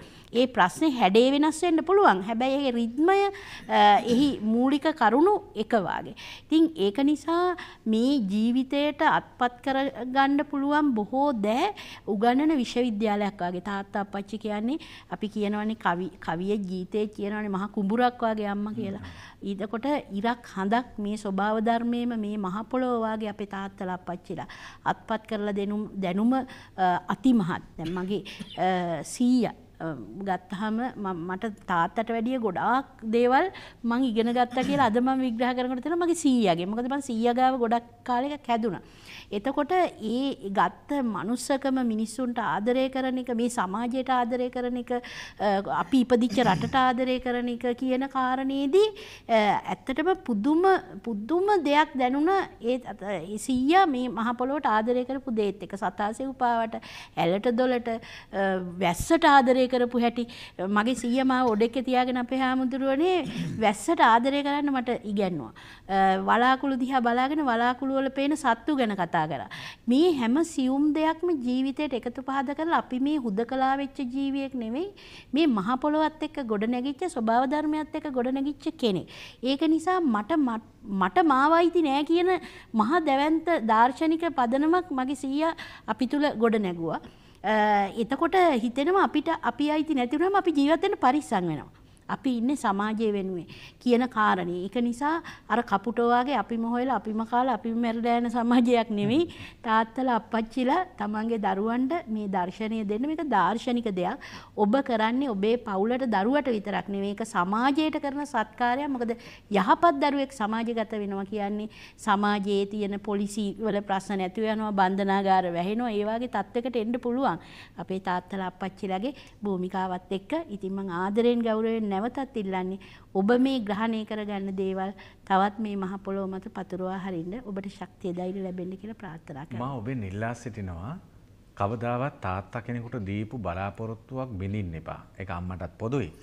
මම ඔබට කියන්නම් මගේ තාත්තා මේ යන විට මට කියලා තිබුණ මැතිනියනි පුතේ මං හාමුදුරු නමක් වුණත් මට අපේ ගෙදර තිබුණේ පුංචි මැටි ගහපු ගෙයක්. මට කිව්වා ඔබ වහන්සේ මම මැරිච්ච දාට ඔබ වහන්සේ ඉතින් ලංකාවේ බොහොම ප්‍රසිද්ධ හාමුදුරු නමක්නේ. මං අපේ තාත්තා කිව්වේ මම දන්නේ ඉතින් මම මැරුණාම මගේ මිනිය බලන්න ගොඩක් අය එයි. ඒ නිසා පුංචි ගෙයක් හදලා තියන ගෙදර. අම්මටයි මටයි. මං කිව්වා ඔයා කවද්ද මැරෙන්නේ තාත්තේ ඔයා මැරෙනවද කියලා මං ඉතින් ඒ කියන හැම වෙලාවෙම විහිළු කළා. හැබැයි අපේ තාත්තා මන් නොසිතූ වෙලාවක මැරුණා. ඇත්තටම තාත්තා කිව්වා වගේම අර මිනියවත් එළියට ගන්න බැරි පුංචි ගේ ඇතුලේ තමයි තාත්තගේ මිනිය තියන්න උනේ. එදා තාත්තගේ මිනිය දිහා බලන හැම වාරයක් ගානෙම මැතිනියනි මගේ හදවත පිච්චුණා. තාත්තා ඉල්ලපු දේ මට දෙන්න බැරි වුණා කියලා. ඊට පස්සේ මං ඉක්මනින්ම කර දේ තමයි මගේ බණ ආසන පින්වන්ත දායක ඇත්තන්ගේ උදව් වැදුව අම්මට ගෙයක් හදලා අද මේ මොහොතේ TNL රූපවාහිනිය අපේ අම්මා රූපවාහිනියකුත් අරන් දීලා ඒ මේ වැඩසටහන් බලන්නම අද මේ වෙලාවෙත් අපේ අම්මා මේ වැඩසටහන බලනවා. ඉතින් මං කියන්නේ මම අදත් මම ඒ වෙනකොට මේ වෙනකොට ගෙවල් 14ක් විතර මිනිසුන්ට හදලා දීලා තියෙනවා. ඒත් මට ගෙවල් 14ක් නෙමෙයි ගෙවල් 100ක් හැදුවත් තාත්තට වෙච්ච පොරොන්දුව කරන්න බැරි වෙච්ච එකට මම හිතනවා මම සම්පූර්ණ නෑ කියලා. මං තාත්තා වලලපු මිනි වල දිහා බලාගෙන මං හිතුවා තාත්තේ මට ගෙයක් හදන්න බැරි වුණා තාත්තා වෙනුවෙන් ඒ වුණාට ලස්සන ගොක්කොල වලින් සරසපු මිනි වලක් ඇදුවා මිහදන් වෙන්න. ඒ නිසා මම ඔබෙන් ඉල්ලනවා දෙමව්පියන්ට පොරොන්දුවක් දුන්නොත් කවදා හරි දවසක ඉල්ලීමක් කරොත් ඒක සපුරන්න මැරිච්ච දාට හෝ නැති දාට ලත වෙන්න එපා. පසුතැවෙන්න එපා. හරි අහිංසක ආදරණීය ඉල්ලීම් ඉල්ලන්නේ දෙමව්පියෝ. ඉතින් ඒ ඉල්ලීමත් කරන ගමන් අද පින්කමේ දායකත්වය ගැන කටයුතු කරන සිංගප්පූරුවේ උසස් අධ්‍යාපනය හදාරන දයාබර මිනිබිරියට සුවිනි නිමේෂා දියණියට ඒ වගේම කොළඹ අධ්‍යාපනය ලබන මිනිබිරිය විශ්මා සාරති හා උදාන නදුන් ඥාති පුතාටද අධ්‍යාපන කටයුතු සර්වප්‍රකාරයෙන් සාර්ථක වේවා කියලා සෙත් ප්‍රාර්ථනා කරන RB පොඩිමැණිකේ අත්තම්මා මැණික් සිරි නිවස වැල්ගොල්ල කහගොල්ල දියතලාව. ඉතින් මේ පොඩිමැණිකේ අත්තම්මා ආදරණීය අම්මා කෙනෙක් අපේ බණහන අම්මා කෙනෙක්. එතුමිය පින්වන්ත සිතින් මෙහි දායකත්වය ගත්තා. හදවතින් ඔබතුමියව සිහිපත් කරනවා. ඒ වගේ මේ ආදරණීය දරුවන්ට ආශිර්වාද කරනවා. ඒ වගේම වසර 6කට පෙර මිය ගිය පියාණන්ට පින් අනුමෝදන් කිරීම එතුමාගේ නම තමයි MWL උපාලි චන්ද්‍රරත්න මහතාට පින් දීම සඳහා 193න් 29 ප්‍රසන්න උයන මත්තේගොඩ නිවසේ පදිංචි බිරිඳ ඉන්ද්‍රා මාලනී මහත්මිය සහ දූ දරුවන් මියගිය සියලුම ඥාතීන්ට පින් දීමට සහ හැම දිනාටම සෙත් ප්‍රාර්ථනා කිරීමට පින්කමේ දායකත්වය ගැන කටයුතු කරන ඔබතුමියත් අපිට කතා කළා. පසුගිය වැඩසටහන් අරඹලා අද තාත්තා ගැන කතා කරන නිසාම මේ වැඩසටහනේ දායකත්වය ලබා ගන්න ඕනේ කියලා අපිට දුරකථනයෙන් කතා කළා. බොහෝ අය අපිට දුරකථන ඇමතුම් දුන්නා. ඒ දුරකථන ඇමතුම් ලබා දුන්නු අයටත් ඒ වගේම අද පින්කමේ දායකත්වය ගැන කටයුතු කරන පොඩිමැණිකේ අත්තම්මාටත් ඒ වගේම ඉන්ද්‍රා මාලනී මහත්මියටත් අපි හාමුදුරනේ තප්පර ගානකදී අපි පින් අනුමෝදන් කිරීමක් කරමු. සුකස්ස ඒතන් අධිවචනං පුඤ්ඤං කියලයි බුදුහාමුදුරන් වහන්සේ දේශනා කළේ පින කියලා කියන්නේ සැපයට කියන තවත් නමක් කියලා. ඔබ ධර්ම දානය කිරීම තුලින් පින් සිද්ධ කරගත්තා. ඒ පින සැපයක් වෙන නිසා ඔබටත් ඒ වගේම ඔබ සිහිපත් කරන මියගිය සියලු දෙනාටත් සංසාර ගමනේදී සැප සම්පත් ලබන්නත් පරම සැපතු නිර්වාණ අවබෝධය පිණිසත් හේතු වේවා කියන ප්‍රාර්ථනාවෙන් පින් අනුමෝදන් කරනවා. ඒ පින් ඔබටත් මටත් අපටත් බැලූ ඇසූ සෑම දෙනාටමත් දායකත්වයේ දරූ සියලුම දෙනාටත් අත්පත් වේවා. පින් සිතින් ඔබ දහඩිය මහන්සියෙන් උපයා සපයාගත්ත මුදල් නිර්ලෝභීව මේ වැඩසටහන වෙනුවෙන් යොදවලා ධර්ම දානය පිණිස මං හිතනවා මැතිනියනි අපේ මැතිතුමනි අපේ හාමුදුරුවනේ ලංකාවේ දසත පැතිරෙන සුවඳවත් හඬක් බවට පත්වෙයි කියලා සංසාර වන්දනා සදහම් හඬ වර්තමානයේ ඊටාම ජනප්‍රියත්වයට ජනාදරයට පත්වෙන ආගමික වැඩසටහනක් බවට පත් වෙලා තියෙනවා TNL TV රූපවාහිනිය ගෙනෙනු ලබන ඉරිදා උදේ 7යි තිය සංසාර වන්දනා සදහම් මණ්ඩපය. ඉතින් අද මේ වෙලාවේ මම සිහිපත් කරනවා විශේෂයෙන්ම පින්වන්ත සභාපතිතුමා එතුමාගේ ආදරණීය පින්වන්ත ලතෙත් ආශිර්වාදය අපිට ඉතාම මහත් වටිනා කාරණාවක්. ඒ වගේම කාර්ය මණ්ඩලය. මම හිතන්නේ මැතිණියනි මේ කාර්ය මණ්ඩලය ඉතාම පුණ්‍යවන්ත චේතනාවෙන් මේ කටයුතු සූදානම් කරන්නේ. මේ මැදිරි අලංකරණය කරන්නේ මේ සෑම දෙයක්ම කරන්නේ මේ පිරිස ඉතාම කැපවීමෙන්. අපි එහෙම එක කණ්ඩායමක් විදිහට මේ වැඩසටහන ගෙන එන්නේ. ඒ සියලුම දෙනාටත්. ඒ වගේම ලංකාව පුරා විවිධ ප්‍රදේශවල අපි බලාගෙන හැම දිනකටම මේ පින් අනුමෝදන් කරනවා. අපි හැමදාම ප්‍රශ්නයක් අහනවා. ගිය සතිය අපි අම්මා ගැනයි කතා කළේ. ඉතින් අපි ඔබෙන් ඉල්ලීමක් කළා. අම්මා ගැන ඔබ නිර්මාණයක් කළා අපි වෙත එවන්න. අපි ත්‍යාගයක් ලබා දෙනවා. ත්‍යාග දෙකක්. මෙවර අපි තෝරාපත් කරගත්තා. දරුවෙක් අපි තෝරා ගන්නවා පාසල් උපකරණ කට්ටලයක් අපි තැපැල් මගින් ඔබ වෙත ලැබෙන්න සලස්වනවා. මෙවර අපි තෝරාපත් කරගත්ත හොඳම නිර්මාණය විදියට අනුත්තර දසුන් පුතණුවන් විසිනමයෙන් ඒ එක දන්දෙනිය තංගල්ල ලිපිනේ පදිංචි ඔබ තමයි මෙවර ජයග්‍රහණය ලබන්නේ ඔබේ ත්‍යාගය අපි තැපැල් මගින් ඉතාම ඉක්මනින් ඔබට ලැබෙන්න සලස්වනවා. ඒ වගේම මේ අමාරු අපහසු කාලේ අපි වියලි සලාක පාර්සලයක් ලබා දෙනවා ආදරණීය වැඩිහිටියෙකු වෙනුවෙන් මෙවර අපි තෝරාපත් කරගන්නේ මාලනී තෙන්නකෝන් මහත්මිය ජය නිවස වත්තේගම කුරුණෑගල. ඔබ තමයි මෙවර අම්මා ගැන හොඳම රචනාවක් කළා හොඳම නිර්මාණයක් කළා. ඒවල ඔබ දෙපළ තමයි ජයග්‍රහණය කරන්නේ. ඔබතුමියට හිමි වියලි සලාක පාර්සලයත් අපි තැපැල් මගින් ඔබ වෙත ලබා දෙන්න සූදානම්. මෙවර ප්‍රශ්නය ආදරණීය තාත්තා ගැන ඔබේ හදවතට දැනුනේ නිර්මාණයක් විදියට අප වෙත එවන්න. මෙවර ප්‍රශ්නය ආදරණීය තාත්තා පිළිබඳ ඔබට දැනුණු දේ නිර්මාණයක් ලෙස අප වෙත එවන්න අපේ ලිපිනය සමාධි බෞද්ධ මධ්‍යස්ථානය එකසිය හතලිස් සටෙන් හතදිය හල්බරාව පාදුක්ක කියන ලිපිනය. අපේ දුරකතනංක බිඳුවයි හැත්ත දෙකයි විසිතුනයි විස්සයි පන්සිය තුන බිඳුවයි හතයි හයිසීයයි විසිනමයයි දෙසිය නමය බිඳුව එකයි එකයි දෙකයි එකසි අසුවටයි තුන්සිය තිස් සට දැන්ම දුරකථන අරගෙන ඔබට මීළඟ වැඩසටහන් පෙබරවාරි මාසේ 6 වෙනිදා සහ පෙබරවාරි 20 වෙනිදා විකාශය වෙන්න නියමිතයි. එම වැඩසටහන් වල දායකත්වය ලබා ගන්නත් ඒ වගේම අපි පින්සිතින් ආරාධනා කරනවා මේ වැඩසටහන සෑම ඉරිදාවකම ඔබේ ආදරය ලැබුණොත් ඔබේ කරුණාව ලැබුණොත් ඔබේ දායකත්වය ලැබුණොත් ඔබේ පින්බර දානපති දෑත ලැබුණොත් අපිට පුළුවන්කම තිබෙනවා සෑම ඉරිදාවකම උදේ 7:30ට ගෙන එන්නත් ඒ වගේම සෑම සඳුදාවකම උදේ 9:30ට නැවත විකාශය සිදු කරන්නත් අපිට පුළුවන්කම තිබෙනවා. ඒ ආරාධනාව අපි කරමින් අපිට දැන්ම කතා කරන්න ඒ වගේම අපේ ප්‍රධාන දායකත්වය සපයන DCS සංචාරක ආයතනය හෝමාගම දඹදිව තායිලන්ත මියන්මාර් පින් බරවන්දනා සංචාර සඳහා ඔබට සහභාගි වෙන්න පුළුවන් ඔවුන්ට කතා කරන්න කියන ආරාධනාවත් කරමින් මේ වෙලාවේ ඊටාම පින් සිතෙන් දුරකථනයෙන් කරනු ලැබූ ආරාධනාවට වැඩම වදාළ කඩුගන්නාව මුදලිවත්ත දීපාලෝක විහාරාධිපති දෙකටන රජහේන ගුණසිරි සදහම් නිකේතනයේ අනුශාසක ජාතික අධ්‍යාපන ආයතනයේ කතිකාචාර්ය නෙළුවක් කන්දේ ඥානানন্দ අපේ හාමුදුරනේ පාදක වඳිමින් ඔබ වහන්සේට තෙරුවන් සරණ ප්‍රාර්ථනා කරන වැඩමීම වෙනුවෙන්. ඒ වගේම අපි මේ වෙලාවේ ආශිර්වාද කරනවා කිවිපති ප්‍රවීණාචාර්ය අලවතුරේ විජිත අබේවික්‍රම සූරේනි ඔබතුමාටත් පැමිණීම වෙනුවෙන් තෙරුවන් සරණ ප්‍රාර්ථනා කරනවා. ඒ වගේම ආදරණීය අම්මා කෙනෙක් ලොකු පුටුවක් හොබවන අර ගමේ කුරුණෑගල අපච්චිගේ සීයාගේ දැනුම අරගෙන ඇවිල්ලා ලොකු පුටුවක් හොබවමින් ආදරණීය අම්මා කෙනෙක් විදිහට ජාතියටම ආමන්ත්‍රණය කරන ඔබතුමියට ආශිර්වාද කරනවා මිනිස් බලහා රැකී රක්ෂා දෙපාර්තමේන්තුවේ අධ්‍යක්ෂක ජෙනරාල් අනුෂා ගෝකුල ප්‍රනාන්දු මැතිනියනි නැවත නැවත අපේ වැඩසටහනට සහභාගී වෙන්න කියන ආරාධනාවත් කරමින් තෙරුවන් සරණ ඔබතුමියටත් ප්‍රාර්ථනා කරනවා. ඒ වගේම මැදිරියට සහභාගී වූ ආදරණීය අපේ පින්වන්ත මෑණිවරුන්ටත් අපි තෙරුවන් සරණ ප්‍රාර්ථනා කරන ගමන් ගෙදර බලාගෙන ඉන්න ඔබටත් මගේ අම්මා ඇතුළු ඔබ සියලු දෙනාගේ දෙමව්පියන්ට මගේ මිය ගියපු අප්පච්චි ඇතුළු අනුසා ගෝකුල මැතිනියගේ ආදරණීය ජීවත්ව සිටින තාත්තා අම්මා. ඒ වගේම අපි දෙදෙනා වහන්සේගෙත් අපේ මැතිතුමාගෙත් මිය ගියපු දෙමව්පියන් වෙනුවෙන් තාත්තා වෙනුවෙන් අම්මලා වෙනුවෙන් සුජීවත්ව සිටින මේ පින් ලැබේවා ආශිර්වාදයක් වේවා තුන්වන්ගේ සරණ වේවා නිදුක් වේවා නිරෝගී වේවා චිරජීවනයේ සැලසේවා. නැවත ලබන ඉරිදා උදෑසන 7:30ට ඔබව සොයා සංසාර වන්දනා සදහම් මණ්ඩපයෙන් ඔබේ හද මඩලට ගොඩ වෙන බලාපොරොත්තුවෙන් සමුගන්නටයි මේ සූදානම. මම ඇඹිලිපිටියේ පදලංගල වරායායේ සමිත හාමුදුරුව. නැවත හමු වෙනතුරු හැමදිනාටම පෙරවන් සරණයි.